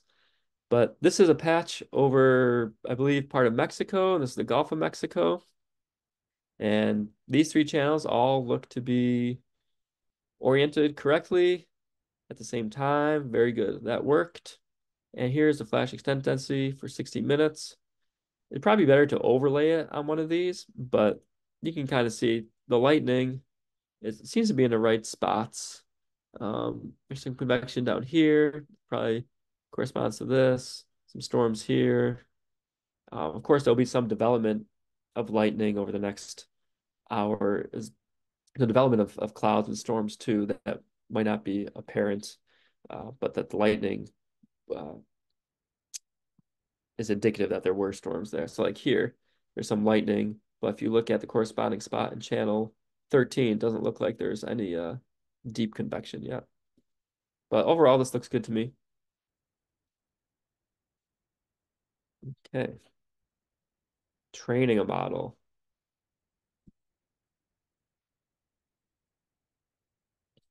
All right. First, we need to define the model.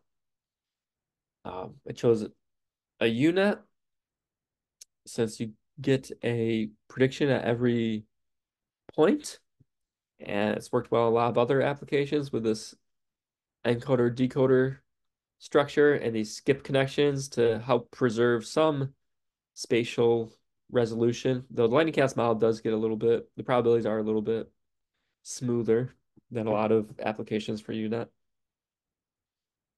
We use upsampling layers in TensorFlow to upsample the two kilometer, one kilometer bands to the half kilometer channel.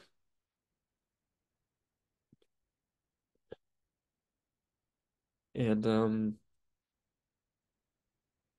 oh, the formula is gone, but we use binary cross entropy. So again, this is, was there lightning at a given pixel or was there no lightning? Those are our two classes. Here are some hyperparameters we defined. We use many fewer feature maps per block. You can see here in the original model, they started with 64, they went to 128. So this is the depth, um, the depth dimension of of each block, 256, 512, and then their bottleneck, they used 1024. We tried that and it just was not working. I, I think it wasn't training well or wasn't converging, but using many, a lower, much lower amount of feature maps seem to work.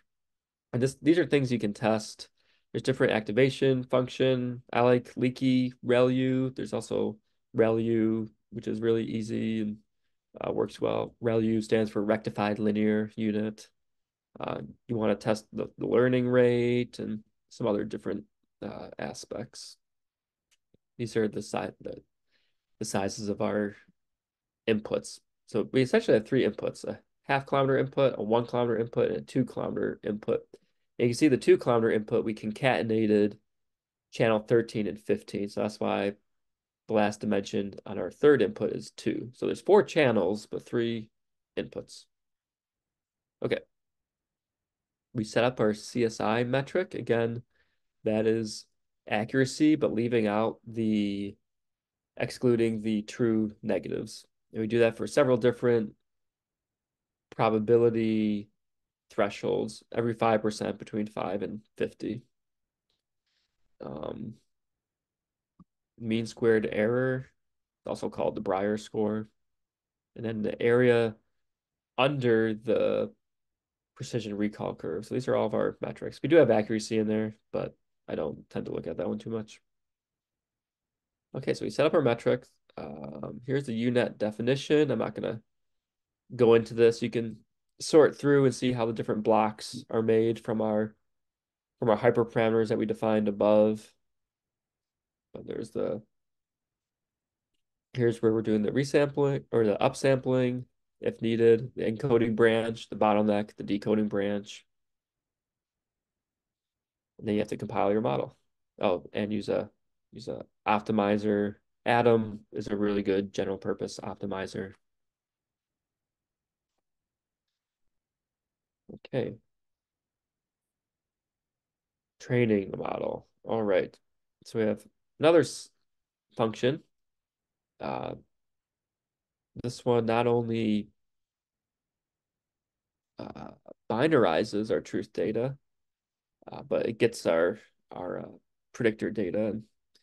So when we binarize it, right, our lightning data has some flash rate, 0 to 255, but we really only care if there's any lightnings. So you binarize it at, we binarize it at one flash. This has to be in byte scaled. In my case, it has to be in byte scaled uh, data units. Uh, we could train a model to predict 20 flashes in the next hour, 50 flashes, uh, but we really just, for our purposes, just care about any lightning. So that's where it's doing the binarization. And um, it's getting the different inputs. Channel 2 is input 0, channel 5 is input 1, channel 13 and 15 together is input 2. Okay. These are just some helper functions get best model. That is uh, just getting the one with the lowest loss. Since each epoch, if the validation loss decreased, we say about a an H5 model, a, uh, a TensorFlow HDF. Okay. Now we're getting to the part where we're actually going to do the training. I have note well. There are several problems with our current data and setup. Uh, due to resource limitations, we only use eight samples for training and six samples for validation. That is not going to generalize very well. You need many more, much more data. Um, this is these notebooks are really just playgrounds to test things out, but um, you can use other local resources or cloud resources to to train a to real a model or you know a model that will generalize better. The samples of the training validation sets are also too close in time. This autocorrelation can cause overfitting on certain features and lack of generaliz generalization. It would be better to use samples from different days in each data set, or ideally different years. So I, I see this problem a lot when I review papers. People say they get really good scores, and they do, but all their data is very correlated between the training and validation sets. So you don't want that. You want those to be as uncorrelated as possible, and obviously with your test data set too. Um, yeah, I say I don't. I'm not using a test data set here, but you you should in, in your models in your process. I leave these important considerations as an exercise to the reader.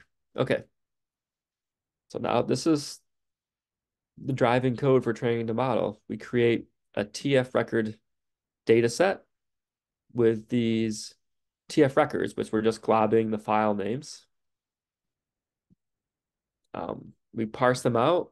This map, this applies the parse TF record function to each sample in, in each TF record file.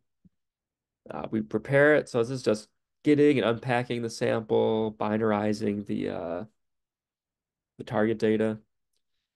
And then we, uh, our batch size is only one here, but batch it, prefetch it helps optimize the communication between the CPUs and the GPUs. And we do the same thing. So this is our training data set. Then we do the same thing with our validation data set. We define some some callbacks, some logging, early stopping. So that's if you have no improvement after, in our case, four epochs, then we we stop because we don't want to overfit on the data. Um, we reduce the learning rate if if our validation loss doesn't increase after two epochs. There's a lot of different ways to do this. I found this works really well. Some people use the same learning rate on each epoch, um, but I invite you to explore how to how do you what learning rate works best for your problems and how to adjust that as the training goes on. And then we use TensorFlow's Keras fit function, high level API. Um, give it the training data set, the validation data set, the callbacks list. We're going for 100 epochs, but again, there's going to be early stopping, so it never gets to 100. And once that's done, we can create some figures. So here's just printing out the model. Here's a graph of how the loss look like. So it's, you know, the first one or two epochs that decreased a lot, and then it was pretty gradual. But again, this is a very, very small amount of data. Accuracy and some scores. So I really like looking at the validation CSI. And you could, there's ways you can make that your your loss function. Binary cross entropy is what I used. But um uh, that's another important consideration. Like, what is your what what score do you usually look at to assess models and maybe see if you can create a loss function out of that? Um, but okay, it's not CSI is pretty bad, 20% below, 25% below, but then it's actually pretty good uh, as you get a little higher. But again, the data are correlated and there's only like six samples, I think. But there, are a lot of pixels in your sample. Okay, now let's see how the model does with new ABI data, never seen before. So we're using some similar code snippets from before. I have a few things hard coded in here for where I want to take a patch from to uh to make the predictions. And here we go. Now these are probabilities of lightning from our model over, I believe, the Florida Peninsula. Okay, well that looks good, but we need a little more context. Let's get some GLM data, create another uh, aggregation.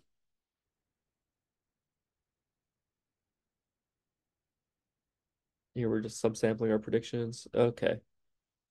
So let's look at that. You can kind of see the Florida coastline a little bit here in, in the channel 13 brightness temperature.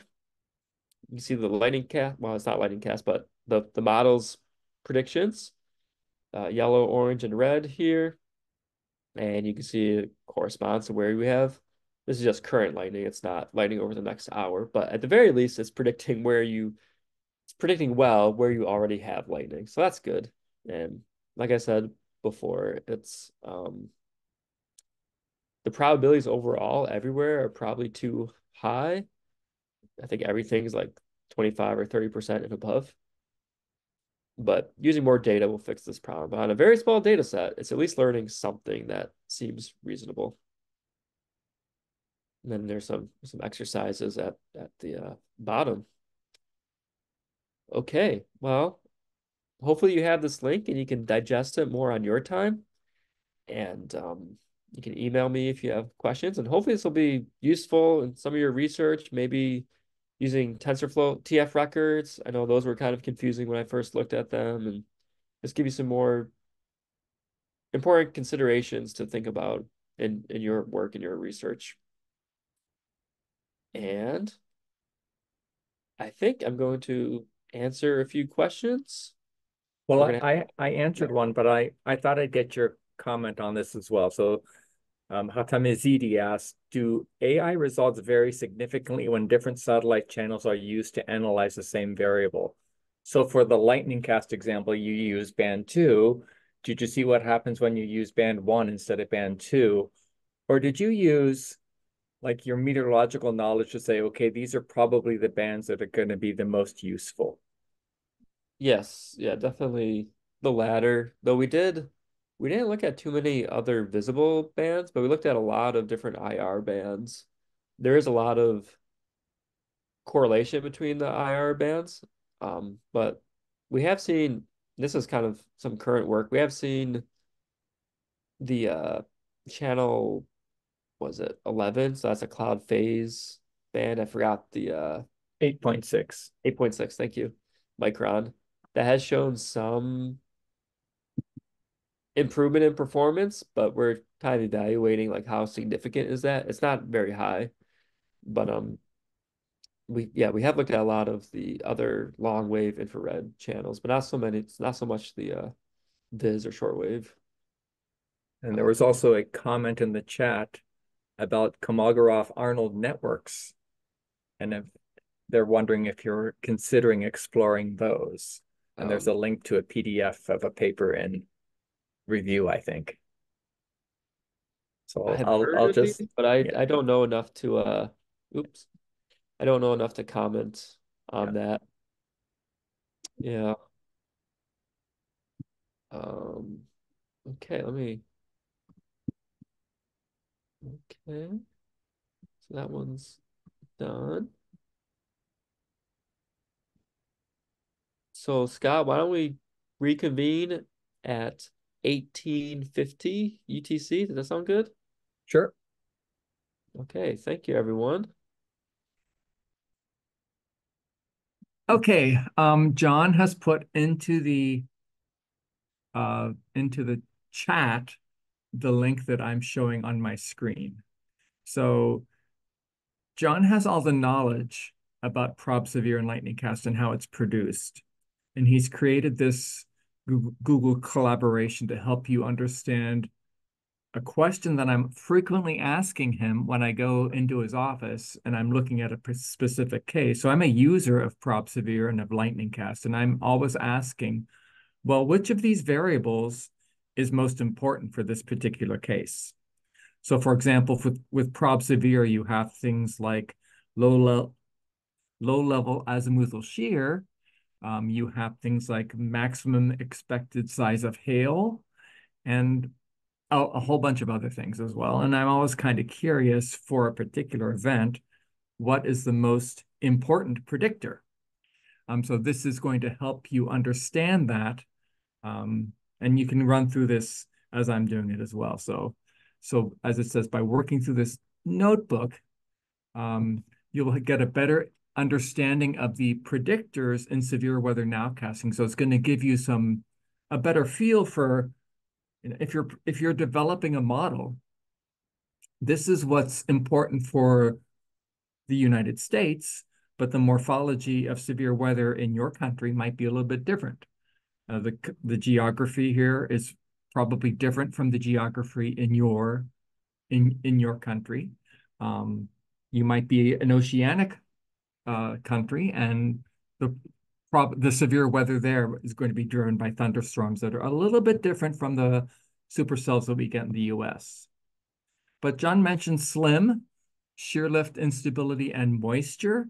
These are the things that are necessary um, for severe weather.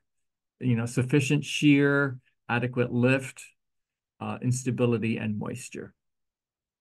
So different kinds of measures of that are going to be incorporated into these models that are predicting whether uh, severe weather is going to occur. Remember, the definition of severe weather is the United States National Weather Service definition, which is winds exceeding 50 knots hail over an inch in diameter, or a tornado.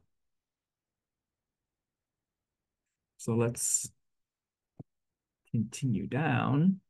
And there are different kinds of convective storms that will that form in different environments that can still produce severe weather. So we have squall lines and supercells, but the United States will also have derechos, which are long-lived wind events. Um, there are quasi-linear convective systems that can develop uh, can that can produce severe weather. You can have wet or dry microbursts, all sorts of different things that are that a model that's predicting whether or not severe weather is going to be occurring has to consider. So that it's definitely not a one size fits all things. You have to have a model that's flexible enough that it works with all of these different modes of convection that might be creating severe weather.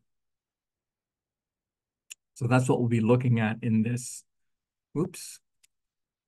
That didn't mean to jump so far down. And my issue, uh, let's go back up here. So we talked, John talked about ProbSevere, which is using satellite data, radar data, lightning data, both GLM, the geostationary lightning mapper that's on GOES-R, and ground-based lightning, um, and some environmental attributes that come from numerical models. So it's this this can be traced for um, the the germ. The idea for this started um, 15 or 2008 when people at SIMS were looking at cloud top cooling. So just looking at the how the change in the brightness temperature in the long wave infrared was cooling. So if it cools very quickly, that is interpreted as ex as explosive growth, and you're more likely to have severe weather. Um, and you can also look at cloud glaciation. So we're looking at ProbSevere version 3 now. Um, there was a ProbSevere version 1 and there was a ProbSevere version 2. And with each refinement um, of the of the ProbSevere model, so it's a different machine learning, it's a different development in the machine learning. Um, this tool has become more reliable. It's better better statistics with it.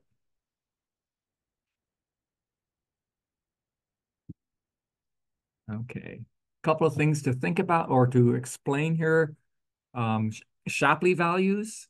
Um, this is a game theory concept that's part of ProbSevere and machine learning. So we're looking at uh, ProbSevere is acting on a feature. So you have to define a feature, um, and for that feature, you define the various characteristics that are with both the radar, the satellite, and the numerical model output.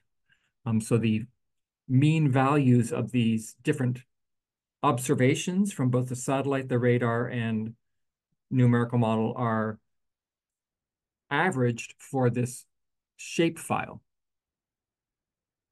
And it helps you better articulate exactly where the probabilities are going to be greatest. So there's a Python library that allows you to do that. Um, so, so allows you to calculate the shape files. Okay, I want to make sure I didn't miss it. Okay, so first things we're going to do here, we can run all of these things. So you can you can do this as well. Um, I'm going to ignore that it's not authored by someone in Google. This one this one takes a while because it's getting all the packages. I think when I ran that this morning, it took about 40 seconds, but you can see what it's, a, you can see the different uh, libraries that are installing. So LightGBM, SHAP, and Pandas. It's running a little bit faster than it did this morning, so that's kind of nice. So that's done. Um, now we get need to get the, the, the, the data that we're going to be looking at um, for this. So we'll download the probabilities of the, any severe hazards model.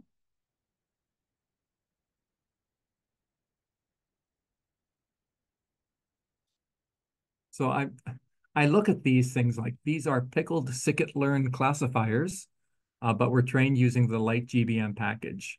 Um, I love pickles, so that's that's what I think. And so everything has been the data have been downloaded, and we can list it out now, and you see what kind of uh, pickle files have been have been loaded.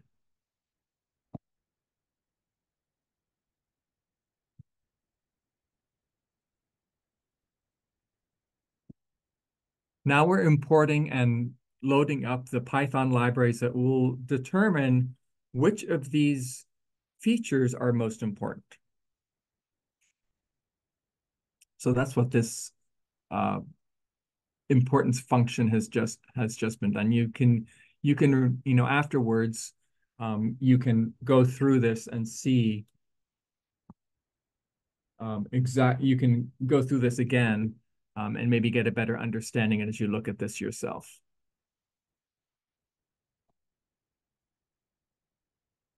You can see all the things that, that this is doing um, as it goes through in, in this Python code.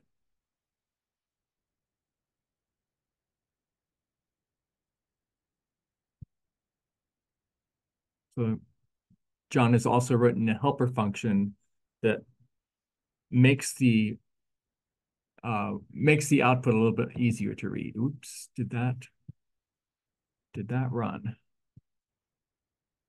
Never quite know. Oops. You can run it again. Yeah. I have to go back. There it is. It's fast. It ran.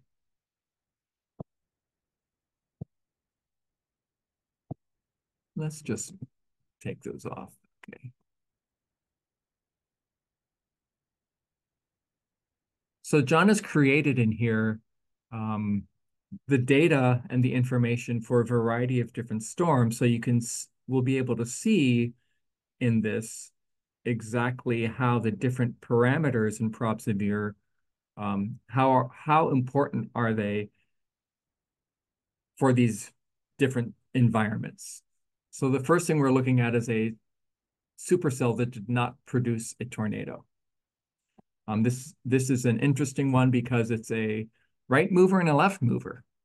Um, so the, the animation that you're seeing right now is showing the ProbSevere polygons. So you notice that the um,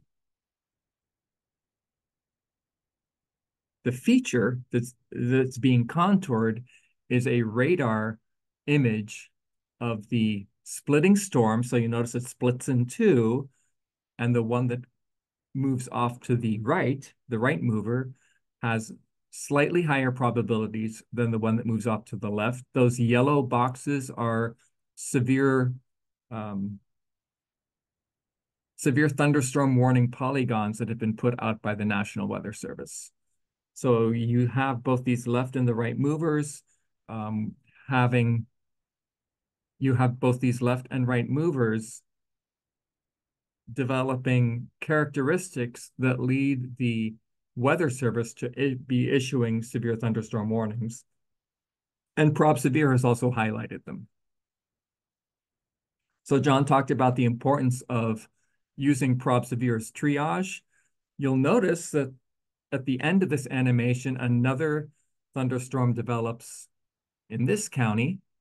It's going to show up right here, but there's no, even though even though it's warned, um, ProbSevere isn't highlighting it quite yet. Maybe it does it, maybe it does a little bit later. So maybe that would help you if you're monitoring this event with radar, maybe that would guide you to look at that system that's developing not quite so frequently as the fully developed systems that are moving in uh, right now. But ProbSevere, I mean, they have put out a warning on it. So perhaps the environment is sufficient that the forecasters applying their meteorological knowledge to say, okay, this is going to grow um, with time and become severe.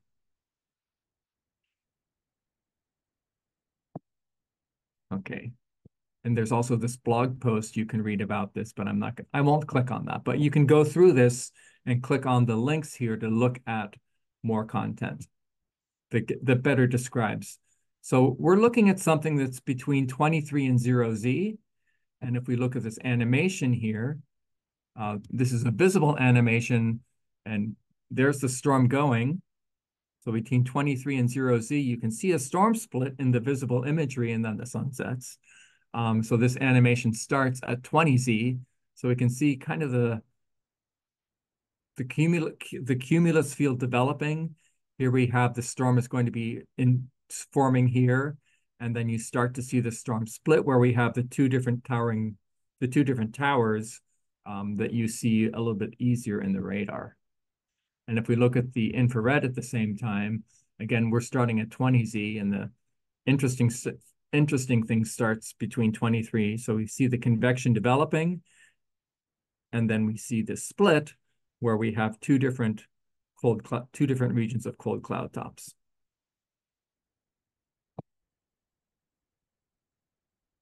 So predictor importance for this is run through here, and we're looking at something at 2256 right now.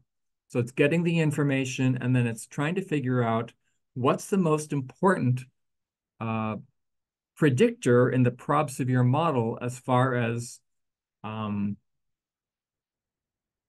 what's driving the probability in the ProbSevere. what predictor is most important in driving the probability in the model here? And you see for, for this particular time at 2256 UTC, so at 2256, the lapse rate, the low-level lapse rate is the most important parameter. So we see all the different things that go into the ProbSevere model. So mix, mixed layer CAPE, effective bulk shear, normalized satellite growth rate. So this is a satellite, you know, it's this is kind of related to cloud top cooling. So it's how how is the how is the cloud top brightness temperature changing with time and it's normalized Flash rate is coming from the GLM. Um, we have azim, azim, a word I can't say, azimuthal shear, um, all sorts of different variables that are coming both from model and from the MRMS, which is the multi-radar, multispectral um, National Weather Service uh, observation system. And there are there are even things like precipitable water, um, height of the, the zero degree wet bulb. So all sorts of prob all sorts of different observations that go into driving the ultimate probability that something might be happening.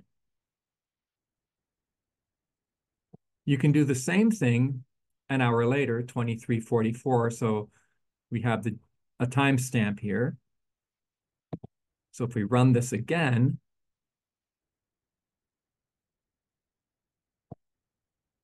then you can compare the shapefile. So at 20,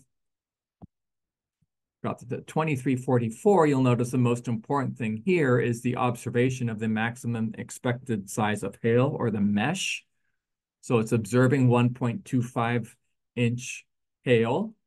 So you might expect that since that is a severe hail size, that that is one of the more important things in driving the ProbSevere model lapse rate zero to three kilometers is still giving you useful information. You'll notice it's still 8.4 Kelvin per kilometer, um, whereas before it was also 8.4 Kelvin. So you'll notice how the mesh has changed.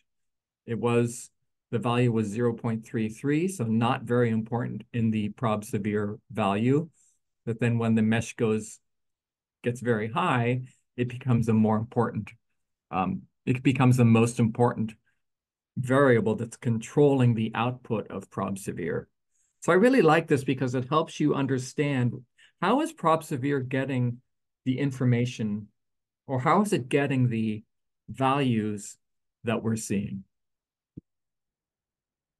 So that's for a non-tornadic splitting supercell. So you can do this for all sorts of different things. So here we have a, a wet microburst. This happened in the city, U.S. city of Memphis. So this is the Mississippi River.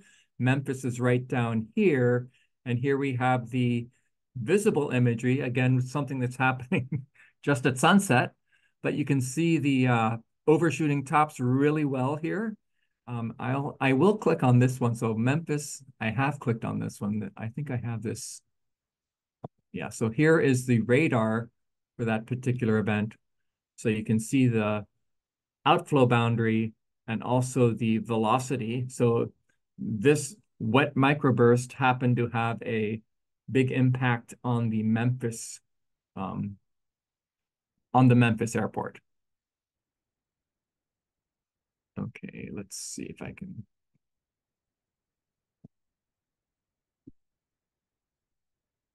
So back here, I had to make things smaller and bigger to so here's the visible imagery and you can see the same thing with the infrared. Um, the microburst was occurring um, around sunset. So you can, I mean, I like looking at the infrared imagery here because you can see the blackness of the cold cloud tops. There's one right there, and then it collapses.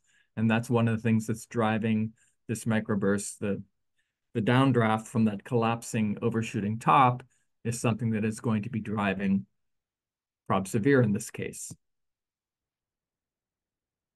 So 2348, if we click on that one, it's going to create the same kind of shapefile. So you'll notice this is a lot different. Um, really only the lightning is the principal driver here of the severe weather. All of the other things aren't contributing a whole lot. The mesh is giving you a, the mesh is kind of giving you some, a signal, but most of the other parameters that go into ProbSevere here are not important. Um, so I think I think when you look at these over over the course of time, you come to understand the challenge in predicting just from observations, not from a ProbSevere model, just from observations, predicting where the severe weather is going to happen because um, these um, predictor importance plots really highlight how variable um, how the how the how variable the param how the how how variable the distribution of parameters can lead to a severe weather event, um, and it it kind of highlights why you need to do this kind of um, probabilistic predictors, because it's the machine learning tools using the past data that's able to aggregate all this information. Um, you know, maybe there are forecasters out there who have seen enough severe convection that they're doing this all in their brain anyway. I'm not one of those. Um, but the, the, the beauty that ProbSevere is that it's doing this for you based on what it has learned, and then it's projected into what, what it's observing right now.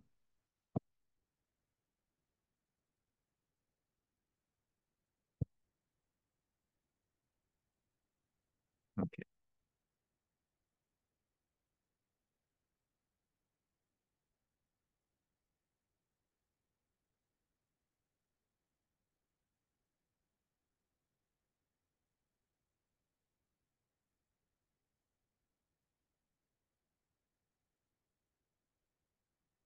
Okay, I've lost, which one is this?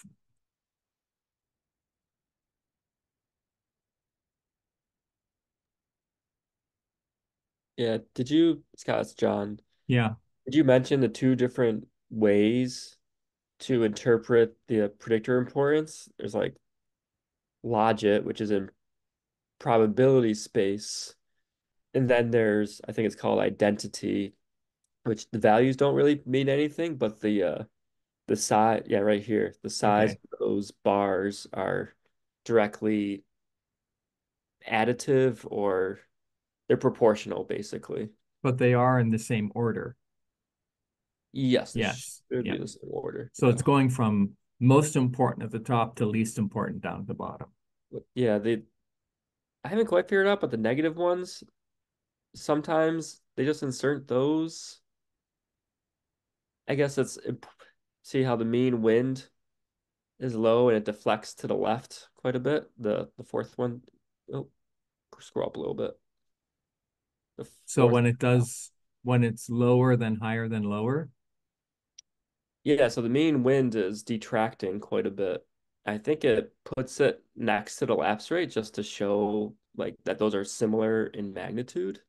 okay. So it's it's important in a sense that it's detracting a lot. So it's it's not as but the, like the VIL underneath it is contributing positive much more than the the mean wind because that's deflecting to the right. Okay. So this is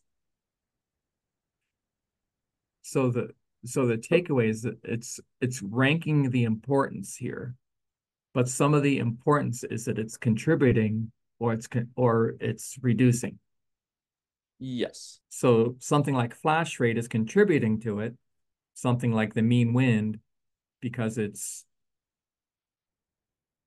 this is the mean wind one. Here's the VIL max. So mean wind and effective bulk shear are both important, but in a negative way.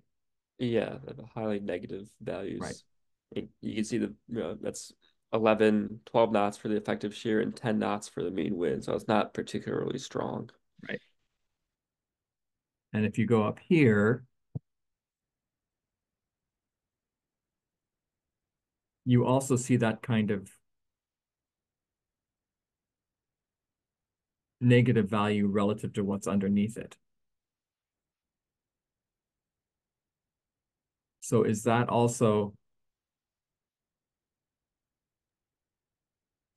Sorry, what's that? I'm saying that you you see the same Yeah. kind of structure here, It is. It's just um not as obvious. yeah. Okay. So when you're doing this, okay, so the identity is better emphasizing Yeah. what's important versus un less important, or what's positive versus what's It's not. more accurate, whereas the other one's more interpretable because it's in probability space, Right. But it's not as exact. So I showed both. So here we have another one. This is a dry microburst over Salt Lake City, which is a fairly dry environment. One of you asked why there's no why there's not quite so much severe weather over the mountains of the US. And I think the short answer is there's a lot less moisture there. But you can have, here's a here's a nice example with a sounding dry adiabatic below 600 millibars. So you might expect very strong downburst with this. If we look at the visible animation, um, and again, focus between 030 and 130, you'll notice a convective system happening up here, again, as the sun sets. So we have a very strong system that develops, that does produce a dry microburst. And if we look at the same thing in the visible imagery, this is band 13, the, the 10.3 micrometers from GOES 16. You'll see a very strong storm develop. Let me show you the times. Again, a very strong system developing over the northern part of the Great Salt Lake. You see the cold cloud, you see the cold cloud tops, and then you see the collapsing overshooting top, which is helping to drive that microburst. So what's important for this kind of storm? And if we look at it, and again, we're looking at the identity. Um, this is at 116 UTC. Here's another case where the mesh is important, the flash rate is important, um, and so is the lapse rate. So those are the three most important values here. And so normalized satellite growth rate, um, zero. I'm not sure if that means it's not observed or if it's actually zero, but that is contributing, um, that's a negative influence on the on the ProbSevere values.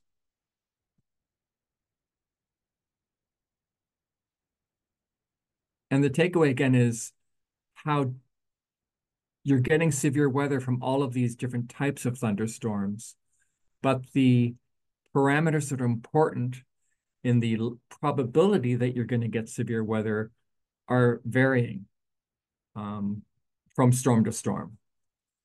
So ProbSevere is helping you determine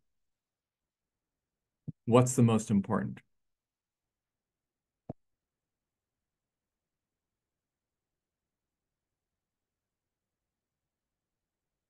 So here we have a tornadic supercell.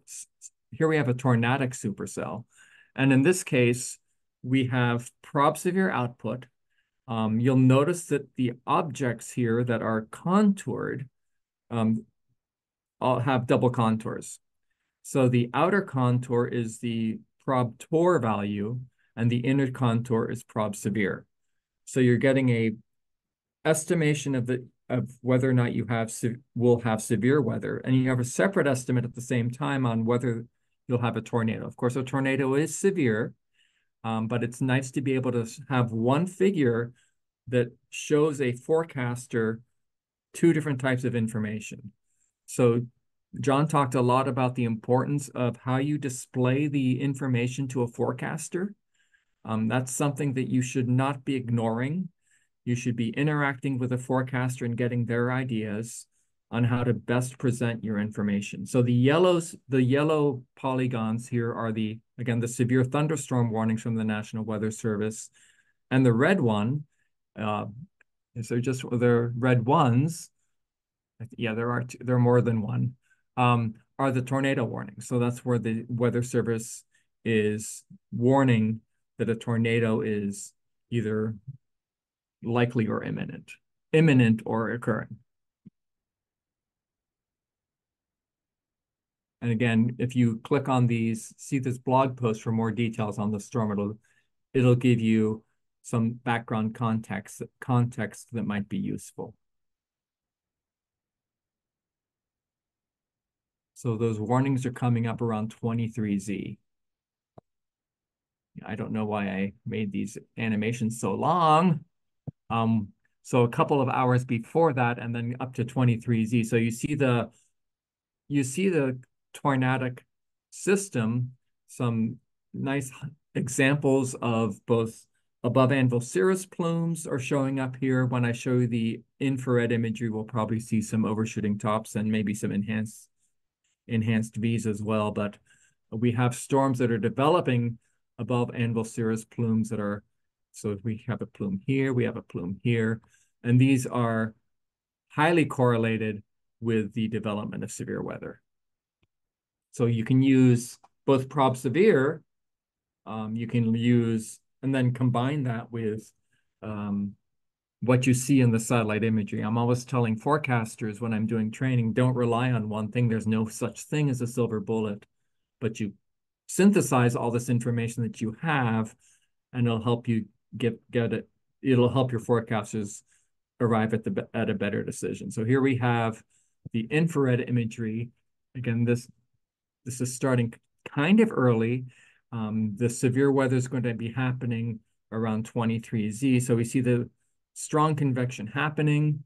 Um, we have lots of very cold cloud tops here, so lots of overshooting tops.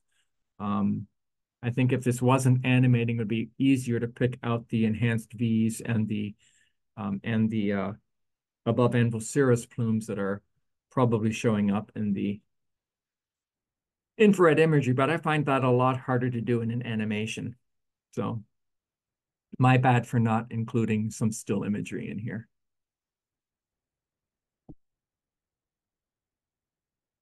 So what features are important for this one? Oops, okay. This is at 22Z, which is before um,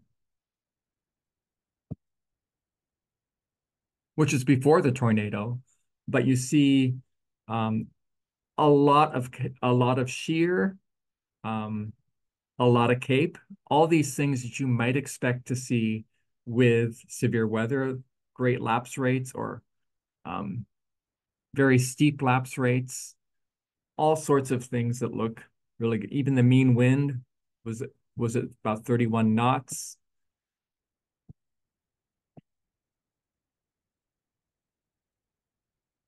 So let's change that time. So this is a 2214 and the and the example says to change the time to 2228. All you need to do is change this to 28.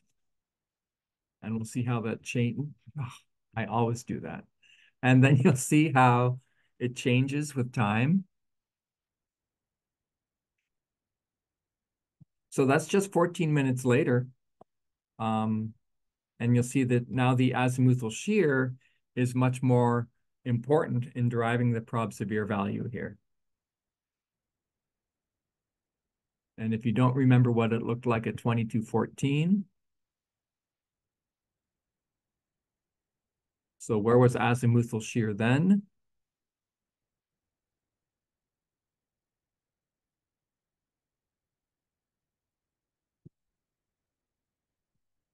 It was down much farther down. So the the azimuthal shear is coming from the MRMS. Again, the multi-radar, multi-spec, multi, Multi-radar, multi-sensor. Thank you, sensor. I was going to say spec. merged, merged yeah. radar Yeah. data from multiple radars, basically. Um, so notice how the azimuthal shear has changed greatly just in that 14 minutes. So it's a nice way to be able to track what's going on. You might remember that John was showing in his talk, you can you can mouse over and see how the values are changed, see what the values look like. So you could be doing this in real time horizontally, but this is giving you that readout um, to give you the relative importance. So you know, it's maybe it's a lot easier. Oh, well, trying to think if I mean if I'm it's a way to synthesize all the information into one um, that doesn't require you to look at everything all the time. Um, so because that's a challenge when you're in warning forecast mode to integrate all this information into one thing. So this isn't available in real time, but post post storm, you can look at this to figure out where and when were these different variables changing um, in relationship to the development of the uh, of the severe weather.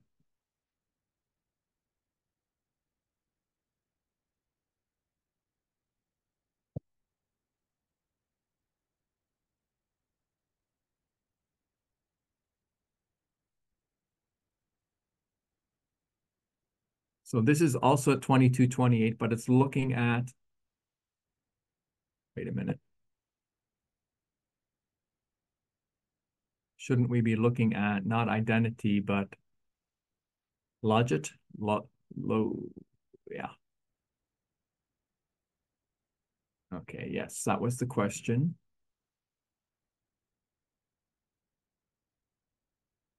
Okay. I, Here. I think there was an exercise there. You're supposed to, yeah, change a Right. couple things. Wow. Why would I like this to just run if I hit return? Okay, did it make the plot? Yes. So in this case, are there any predictors that are reducing the final probability of the tornado? And I'm not sure there are based on this particular. We don't see any of those inflection points that we saw in the previous plot with with logit, log, log IT. I'm not sure how to pronounce that. Um, we just see progressively smaller values.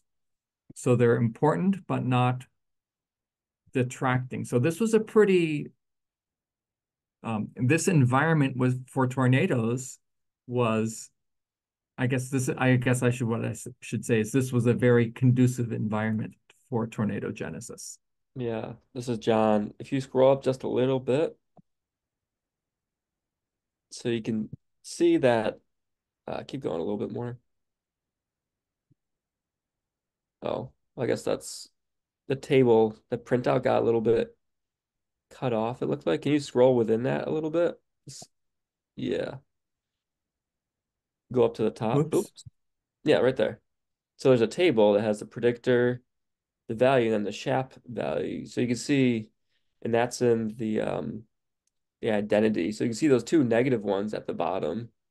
Those ones Okay. actually, it's hard to see in the graph, but the yeah, the surface LCL height, which is the lifted condensation level, and the um what was the other one?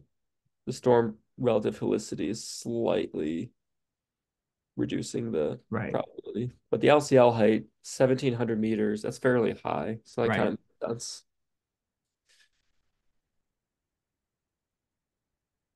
So if you look at the actual SHAP values, And now, that's what would be plotted if if you use the identity instead of the logit. right. Yeah. but it, but but but but before we were talking about how if it's plotted here and changes, it's so you have a little. Let me scroll up. So this kind of thing, where Yeah, in in the in the printout, I think I just organized it so it's all positive first, all positives first, and all negatives at the bottom. So okay, I could control that. I couldn't with the API I was using. It decided where to put the negative ones, and okay. yeah.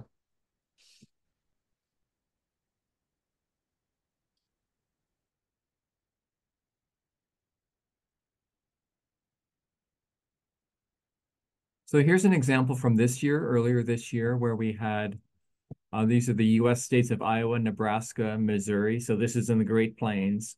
And I think you can see the interesting part of the weather there. So there's a beautiful dry line with very strong convection forming on it, um, right underneath the upper level low.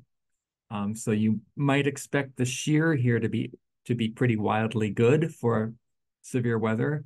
Um, here we have the infrared imagery for the same time. So it's it's fairly early in the convective season, so these storms aren't getting super cold. Um, what was this, March? Okay, April 26th. Um, so the storms don't get to, you don't see a whole lot of very cold cloud tops with them, but they are producing severe weather. Um, let's just look at the visible again to see if we can see I wasn't looking to see if I saw an above anvil cirrus plume with them. Um, I wouldn't be surprised, but let, us see. Uh, we don't. No, maybe I don't see it. So maybe there's just not enough upward motion with this particular system to punch into the stratosphere, although that kind of surprises me.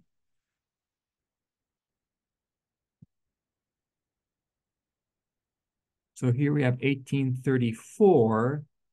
So let me run this to see what happens.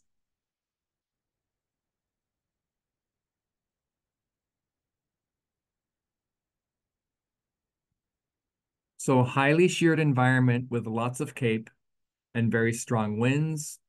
Um, so it shouldn't be a surprise that a tornado is going to be forming. So this is going to be generating the prob tor values. Um, so everything here looks pretty impressive. So if we go back to this instead of instead of identity,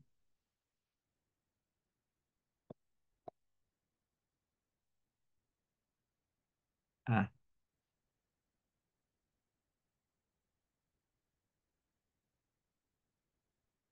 see what happens.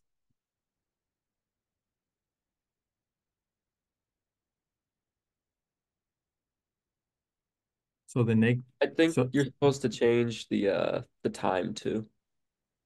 Okay, so that think, but yeah. I I wanted to see what it Sorry. was for that particular, Sorry. and everything looked everything looks pretty good for that particular time. 1908.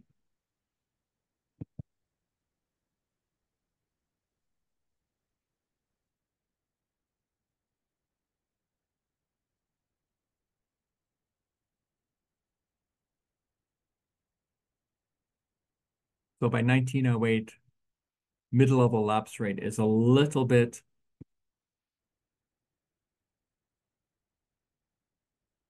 So we have two things at the bottom that aren't quite so favorable for tornado for a for tornado for for ProbTor. But everything else is gung ho.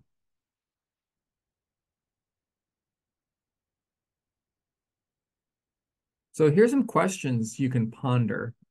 Um, how much time do we have? You got 25 minutes, so we can talk about this, or maybe you just think about this. Um, and I like the last two questions the most. What part of the storm life cycle do satellite predictors seem to help the most? So since this is the satellite meteorology, oceanography, and climatology um, short course, when do you think satellite predictors seem to help the most? And the other one is list two or three differences you notice in predictor importances among the different storm type examples. So I'm not going to ask you to answer that out loud. I'll just ask you to ponder that for a bit, and then we will, then I'll say what I think might be right. I don't know. Um, I like to say I'm not the expert. Um, there are other questions there like, what is the difference between link equals identity and link equals log IT, log-it? Well, how does one pronounce that, John? I just, I usually just say logit. I don't really know. Okay. but I think we've given you enough information that you know the answer to that one. Um, so what part of the storm life cycle do satellite predictors seem to help the most? And two of the satellite predictors are um, cloud top cool, well, um, normalized, I'm gonna have to look. It's, it used to be cloud top cooling, now it's normalized growth rate, um, something like that. And there's also a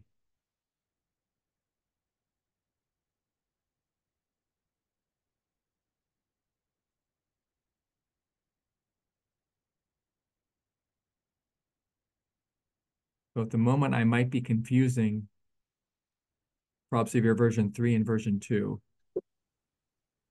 So that that's a that's an issue of mine from from that for knowing too much information. Um, but I will say that during the initial development of the storm, if you don't have a lot of cirrus, that's when the satellite predictors are probably helping the most. As the storm matures and you just have a thick cirrus shield, you're not going to have information about how strong is the updraft growing. So there could be updrafts underneath the cirrus shield that are growing very quickly, but the satellite's not going to be able to detect them. So before the interfering anvil develops is really when the satellite predictors are probably going to be helping you the most. Um, and I'll have John chime in if this answer is giving him heartburn. No, I think what you said is is right. Um, is glaciation still one of the predictors? that isn't. Is not. Okay. So in the, in past ProbSeveres, how quickly the storm cloud was glaciating, which of course is no, how quickly the storm is glaciating was one of the predictors, but further development of this algorithm has kind of relegated that to something that's not as important as other predictors that have been used. So you could, you know, you could have an infinite number of predictors, but each one comes at a cost. So you evaluate which ones are most important, kind of like using this type of evaluation, predictor importance stuff. Um, and eventually you realize that you know, something like mid-level lapse rate is much more important a predictor than how fast is the cloud glaciating. Um, so what two or three differences you might have noticed in the predictor importances among the different storm type examples? Um, I hope you've pulled something out from of, I hope you can formulate an answer to that as well. Um, what I have what I have observed is that each storm, there are some that, you know, when they're huge, you can expect something interesting to happen. So if, if CAPE goes way up and the shear is way up, typically your ProbSevere values will be very large. But for less obvious, for storms that are producing severe weather in a less obvious environment, um, I really like how ProbSevere is able to give you a value that that takes the information from all the different predictors and tells you something about the likelihood of, of severe weather, even for systems that aren't quite so obviously likely to produce severe weather. Um, so you might have a case where you have very high mesh or very low mesh, but you're still going to have a high probability of severe, severe weather um, if there's a low mesh, so low observations of low values of um, low values of um, hail thickness or hail size, um, you can still have a combination of other predictors that say, well, you know, you might not be getting severe weather from the hail, but you might have very strong winds based on the observations there. So, so it's, we have 20 more minutes. I don't know if you have any que I don't know if there have been questions in this because I haven't been monitoring the quest the Q and A. Um, yeah, I've been answering some questions. But there, I mean, th these Google collaboration things are out there for you to play around with. Um, so I encourage you to do that. And let me stop sharing as we coast coast down toward the end. Um, and I want to bring something back. Just remind you all to do this. Oops, to do this. Nope, that that's what I want. So please take this short survey. I will, and at the end of this, so you will be able to view this again. Uh, this will be uploaded to YouTube, a recording of this um, as quickly as possible. Um, the presentations are, are go going to be posted on the website that's at CIRA. So this has been showing up in the chat occasionally. Um, and there's a short survey that you that you will receive after the training session, or you can click it now because it's been in the chat. And we're trying to help guide the development of future short courses. Um, so if you found this one really interesting and you want to see more on um, machine learning tools from experts like John, um, it might not necessarily be John next time. Um, note that and hope to see you at the fourth one on July 16th. And with that, um, are there questions we should be looking at? Let me stop sharing. Did I did I share this? Yeah, you're not sharing anymore. Oops. Oh, okay, oh, so... okay, let me share this. Okay.